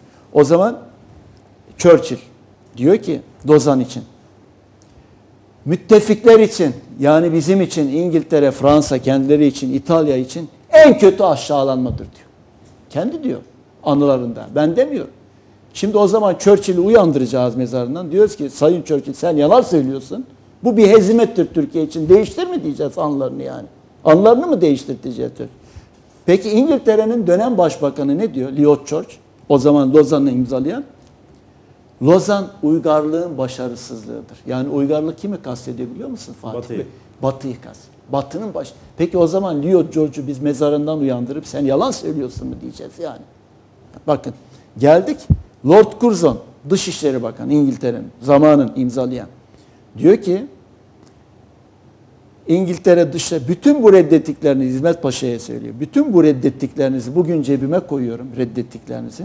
Yarın birer birer çıkarıp sizlere ödettireceğim diyor. Demek ki Lozan onlar için bir yenilgi intikam almak istiyor. Şimdi Time dergisi o günlerde çıkan Time dergisi ne diyor Lozan'la ilgili manşet. Lozan Antlaşması 100 yıldan fazla süredir İngiliz diplomasisinin ilk göze çarpan başarısızlığıdır. E şimdi siz bütün bu yabancı belgeleri atacaksınız. Diyeceksiniz ki biz Lozan'da istediğimizi alamadık. Bu uygun değil. Bu uygun değil. Neden? Tarihi gerçeklere dayanmaz. E bu tarihi yok edemezsiniz ki. Geldik şimdi. Lozan kaç ülkenin imzalanmasıyla ortaya çıkan bir anlaşma biliyor musunuz? Bakın kaç ülkeyle söyleyeyim size. Evet. Türkiye, Yunanistan, İngiltere, Fransa, İtalya, Japonya, Romanya, Bulgaristan, Portekiz, Belçika ve Yugoslavya. Yugoslavya şimdi parçalandı. Şimdi İngiltere memnun mu bu antlaşmadan? Memnun değil. Okuduk. Fransa memnun mu? Memnun değil. İtalya'nın bazı maddelerde değiştirme ihtirasları var. Peki bu ülkeler genelde güneyde bizi de içine alan bir Kürdistan devleti kurma emelleri var mı yok mu? İngiltere'nin, ABD'nin ve Fransa'nın var. Peki Fransa bu PKK terör örgütü elemanlarını, örgüt liderlerini, sözde liderlerini, YPG'nin sözde liderlerini kendi saraylarında kabul etmiyor mu? Ediyor Barzani ile. Peki siz bu antlaşmayı gerçi açamazsınız. Açtığınız zaman değiştirme iyi niyetle hani diyelim oradaki Müslümanların açtığınızda bu ülkeler taraf orta masaya oturduğunda beğenmedikleri maddeleri değiştirmeye başladıklarında siz şu andaki mevcut gücünüzle nasıl önleyeceksiniz bunu? Lozan'ı tartışmaya açmak veya Lozan'ın şu maddelerini değiştirelim demek için Rusya gibi yetmez. Bakın sayın ABD gibi güçlü bir ülke olmanız lazım. İkinci şey söylüyorum. Efendim Lozan'da yapıldı 24 Temmuz 1000 peki Mustafa Kemal Atatürk Hatay'ı Lozan'ı tartışarak mı tekrar Anavatan toprağına Kıbrıs Barış Harekatı'nda oradaki soydaşlarımızın zulümden, katliamdan korumak için oraya gidip bir coğrafya kazanıldı. O toprak kazanıldı. Lozan'ı tekrar tartışmaya açarak mı yaptı? Gücünüz varsa tam bağımsızlık bir politika, anti emperyalizm bir politika uyguluyorsanız tartışmaya gerek yok ki. Veya 2. Dünya Savaşı dışında tutulma başarısı Lozan'ı tartışmaya açarak mı yaptı Cumhuriyet'in kurucu liderleri? Peki kurucu niye yaptı? Demek efendim Niye yaptı? Niye Lozan'ı tartışmaya açtı yani Sayın? Şimdi tabii ben e, o Sadece niyesi ben değil paşam. Şeyi- şey şeyi kastediyorum. Ne istiyor yani? Evet. Ne? Şu deniyor ki efendim oradaki yaşayan ve azınlık statüsündeki Müslümanların gerçekten hakları verilmiyor Yunanistan'da. Gerçekten verilmiyor doğru. E güzel de bunu Lozan'a açarak değil, kendi gücünüzü, kendi kartınızı, diplomasi kartınızı ortaya koyarak, onları sıkıştırarak, diğer ülkelerle beraber olarak o hakları belki sağlayabilirsiniz. Ama güçlü olmanız lazım. Şimdi bu ortamda her tarafınız ateş çemberiyken Lozan'ı açmak demek bize olan büyük kötülüğü yavaş yavaş gelmesi için bir neden olur. Benim en büyük korkum bu. Onun için e, tarihçilerin yani belgelere dayanan tarihçilerin hiçbiri ben Lozan'ın tartışmaya açılmasını taraf olacağını düşünmüyorum. Kol- İyi siyasi tarihçilerde. Ama bir, dakika. konu daha var. Bir konu Bir daha. dakika müsaade Efendim, edin orada. Peki sizce niye?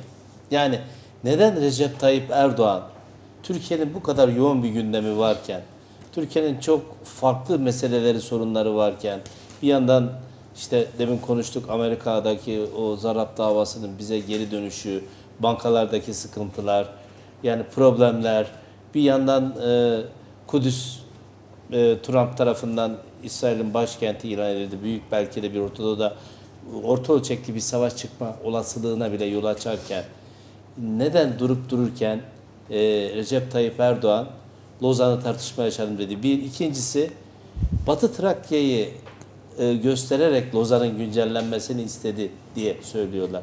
Peki Batı Trakya'daki çift hukukluk hukuk sistemi var. Biri şeriat hukuku, biri medeni hukuk. Her iki hukuktan da Batı Trakya'daki Türk azınlıklar yararlanıyor. Şeriat hukukunu da kullanıyor. Acaba Lozan'ı update edelim, güncelleyelim derken Türkiye'ye de Batı Trakya'da olduğu gibi çift hukuklu bir sistem mi öngörmeye çalıştı Sayın Cumhurbaşkanı acaba? Böyle bir hedefim var. Siz nasıl gördünüz yani? Şimdi e, bence en büyük dert şu, e, Türkiye'nin yaşadığı dış politikadaki en büyük sorun, bütün dış politikanın hepsi iç siyasete alet edilmek üzere planlandığı için ciddi bir başarısızlıktan sonuçlanıyor. Sayın Paşam biraz önce anlattı şeyle ilgili. Türkiye Cumhuriyeti Devleti'nin kuruluş felsefesi o günden bugüne ciddi bir dış hariciye politikası olarak tanımlanan ciddi bir politikası var. Yani bir ciddi devlet politikası vardı. Bugün o yok artık. Çünkü bütün dışarıda yapılan işler iç siyasete alet olsun diye yapılıyor. Şöyle düşünün. Kudüs meselesinde Gazze'ye gitti, gidecekti, gitti mi? Mesela. Hayır gitmedi. Peki. Bugün Lozan'ı tartışma açtığı konunun halk tarafından bırakın biz anlayamıyoruz ne olduğunu. Ben anlayamıyorum yani ne niçin ne iddia ediyor. Konuşuyoruz burada. Hiç kimse bilmiyor. Mesela bunun ne olduğunu. Yani tarih danışmanlarının bana göre yani tarih danışmanlarının çok büyük hatası var. Bu büyük bir sıkıntı. hatası var. Büyük bir sıkıntı yani var Böyle Lozan, yani. Lozan dediğiniz zaman açtığınızda bu gücünüzle açtığınızda İngiltere, Yunan- Yunanistan'ı karşınızda bulursunuz. Zaten Ege adalarına sahip olamamışsınız. Ya bugün siz bahsettiğiniz Egal- fiili bir Şimdi durumda Yunanistan, adam ABD yapmış bunu yani. 6 milden 12 mile çıkartmış tamam mı? Sen itiraz etmiş misin? Etmemişsin. Bakın Adam emrivaki olarak Yunanistan ki kaldı ki bence şöyle bir durum var. Çipras bugüne kadar gördüğüm en barışçıl adamlardan birisi. Bunu herkes kabul etmesi lazım. Yani bu yüzde yüz. Ama her devletin kendine göre bir politik süreci var. Tabii, kendine göre yani- kendi avantajlarını elde etmek için Milli menfaat tabii yani. milli Ulusal menfaat, çıkarlarını, kendi ulusal çıkarlarını, Tabii, ülkenin çıkarlarını yapıyor. diyor. Çipras'a söyledikleri şu kelimeyi hiç unutmuyorum. Ee, iddialaşlar oluyor, şunlar oluyor, bunlar oluyor. Zamanında Recep Tayyip Erdoğan bizim çocuklar, onların çocukları bazen böyle şeyler yaparlar diyor. Olabilir. Ben de hani bunu gerçekten barışçıl bir politik süreç olarak tanımlayabilirsin. Ama Çipras'a soruyorlar şunu mesela. Ege e, Türk e, denizi midir, Yunan gölü müdür neyse ona benzer bir şey soruyorlar. O da diyor ki balıklarındır diyor. Ya çok güzel bir cevap gerçekten de. Yani barışçıl bir cevap ancak böyle olur yani. Ama şimdi sen gidiyorsun oraya hiç gündem yok bir şey yok. Adamın karşısına dikiliyorsun. Lozan'ı tartışalım diyorsun. Yani ne çalıştığınız konu nedir? Böyle bir ciddiyetsizlik olur mu? Laf olsun torbada olsun diye bunlar söylenir mi? Orada ya? şu Ya söylenecek. bu mudur yani? Yani bu mantık mıdır yani? gerisinde bu 19 ada adacığın fiili durum yaratılması, bunun haksızlık olduğu, bununla ilgili gerekli gerekirse askeri harekatın yapılacağı, onlara kapalı kapılar adında ağır yani uygun bir şekilde, kararlı bir şekilde söylenecek. Ama şu var. Ecevit, rahmetli Ecevit Kıbrıs Barış Harekatı'nın o yokluklara rağmen bir düşünelim 74'te. Türk Silahlı Kuvvetleri yetersiz donanım, yetersiz silah sistemi, yetersiz çıkarma araçlarıyla yaptı bunu. Ama Cumhuriyet kazanımları Sayın Vekilim dediği gibi Mustafa Kemal Atatürk tam bağımsızlık, anti-emperyalist, Türkiye Cumhuriyeti Devleti'nin köklü geleneklerine bağlı olarak gelişip olgunlaşan bir ulusal çıkarları anlayışı içerisinde yaptı. Kiminle yaptı? Milli Görüş Hükümeti koalisyonla yaptı. Şimdi bu yapılır. Yani bana ben şahsen onu bekledim. Dedim ki herhalde bu ada adacıkların bu Yunanistan'ın fiili durum yaratması ile ilgili bir konu çıkacak. Unutmayın. Mustafa Kemal Atatürk'ü evet ortak değerde toplanıyoruz. Umarım inşallah iyi niyetle devam eder ama İkinci Dünya Savaşı öncesi güneyde yaptığı Sadabat Paktı. Türkiye, İran, Irak ve Afganistan, kuzeyde yaptığı Türkiye, Yunanistan, Bulgaristan ve Romanya ile Balkan Antantı barış bir barış gölü haline getirdi ve öldüğünde ebediyete intikal ettiğinde yabancıların dediği arkasında düşman ülke bırakmayan ender liderlerden biridir dedi. Yani bunu niye bu, bunu niye izlemiyoruz? Bunu niye takip etmiyoruz? Onun için Paşam, samimilerse, samimilerse şey Son sözünüz var. Son sözüm. Bitti. Ben Evet, evet. Kudüs'le ilgili bir şey söylüyorum. Kudüs e, tabii Trump'a daha önce Trump iyidir, Trump şöyledir, Trump Türkiye'ye çok yakındır diyen o yazar, medya çizer, yazar çizerlerin öz eleştiri yapması gereken bir noktadır. Ama Kudüs şudur, şunu göstermiştir Türkiye'ye. ABD ve İsrail artık Filistin Doğu Kudüs'ü de alacaklar. Göreceksiniz. Sadece Batı Kudüs'ü değil. Doğu Kudüs'ü de alacaklar. Filistin de orada kalmayacak. O Filistin mülteci olacaklar hepsi. Mülteciyi de kabul etmeyecekler geriye. Ve ondan sonra İsrail'in o büyük hayali ve bir zaman hatırlarsanız Fatih Bey ben burada çok söyledim. Suudi Arabistan İsrail 2015 yılında anlaşma yaptı Kürdistan'ın kurulması konusunda hatırlar mısınız? Gittiler Suudi Arabistan'la İslam ittifakı yaptılar. Şimdi Suudi Arabistan Türkiye'den koptu. İsrail'le anlaştı. Kudüs olayı İsrail'deki veliaht düzeltiyorum. Suudi Arabistan'daki veliaht Muhammed bin Salman iki e, Trump'ın şeyi damadı Evet. ve İsrail Başbakanı'nın üçünün ortak projesiyle pişirilmiştir ve Suudi Arabistan'ın da Birleşik Arap Emirlikleri'nin danışıklı dövüşüyle yapılmıştır. Bunu Türkiye'nin görmesi lazım ve Türkiye'de şu anda emekli olan eski Cumhurbaşkanımız Sayın Gül'ün ve Sayın eski Genelkurmay Başkanı Sayın Özel'in eğer aldıkları Abdülaziz madalyası varsa ben kamuoyunda onlara tekliflerimi sunuyorum. Lütfen bunları iade edin diyorum. İade edin. Çok teşekkür ediyorum. Sayın Aksunger çok teşekkür ederim. Rica ederim. bitti burada. Güzel bir sohbet oldu. Bu akşam için e, sağ olun. Size özellikle teşekkür ediyorum. Siz Amerika'dan geldiniz. Ayağınızın tozuyla bize onur verdiniz ve güzel bir sohbet oldu. Bizden bu akşamlık bu kadar. E, Pazartesi günü Türkiye Nere'nin yeni bir programında bir araya gelmek üzere. Hoşçakalın. Bu arada Mehtap Özkan birazdan gün sonunda size son gelişmeleri bildirecek. Onu da izlemeyi ihmal etmeyin. İyi akşamlar.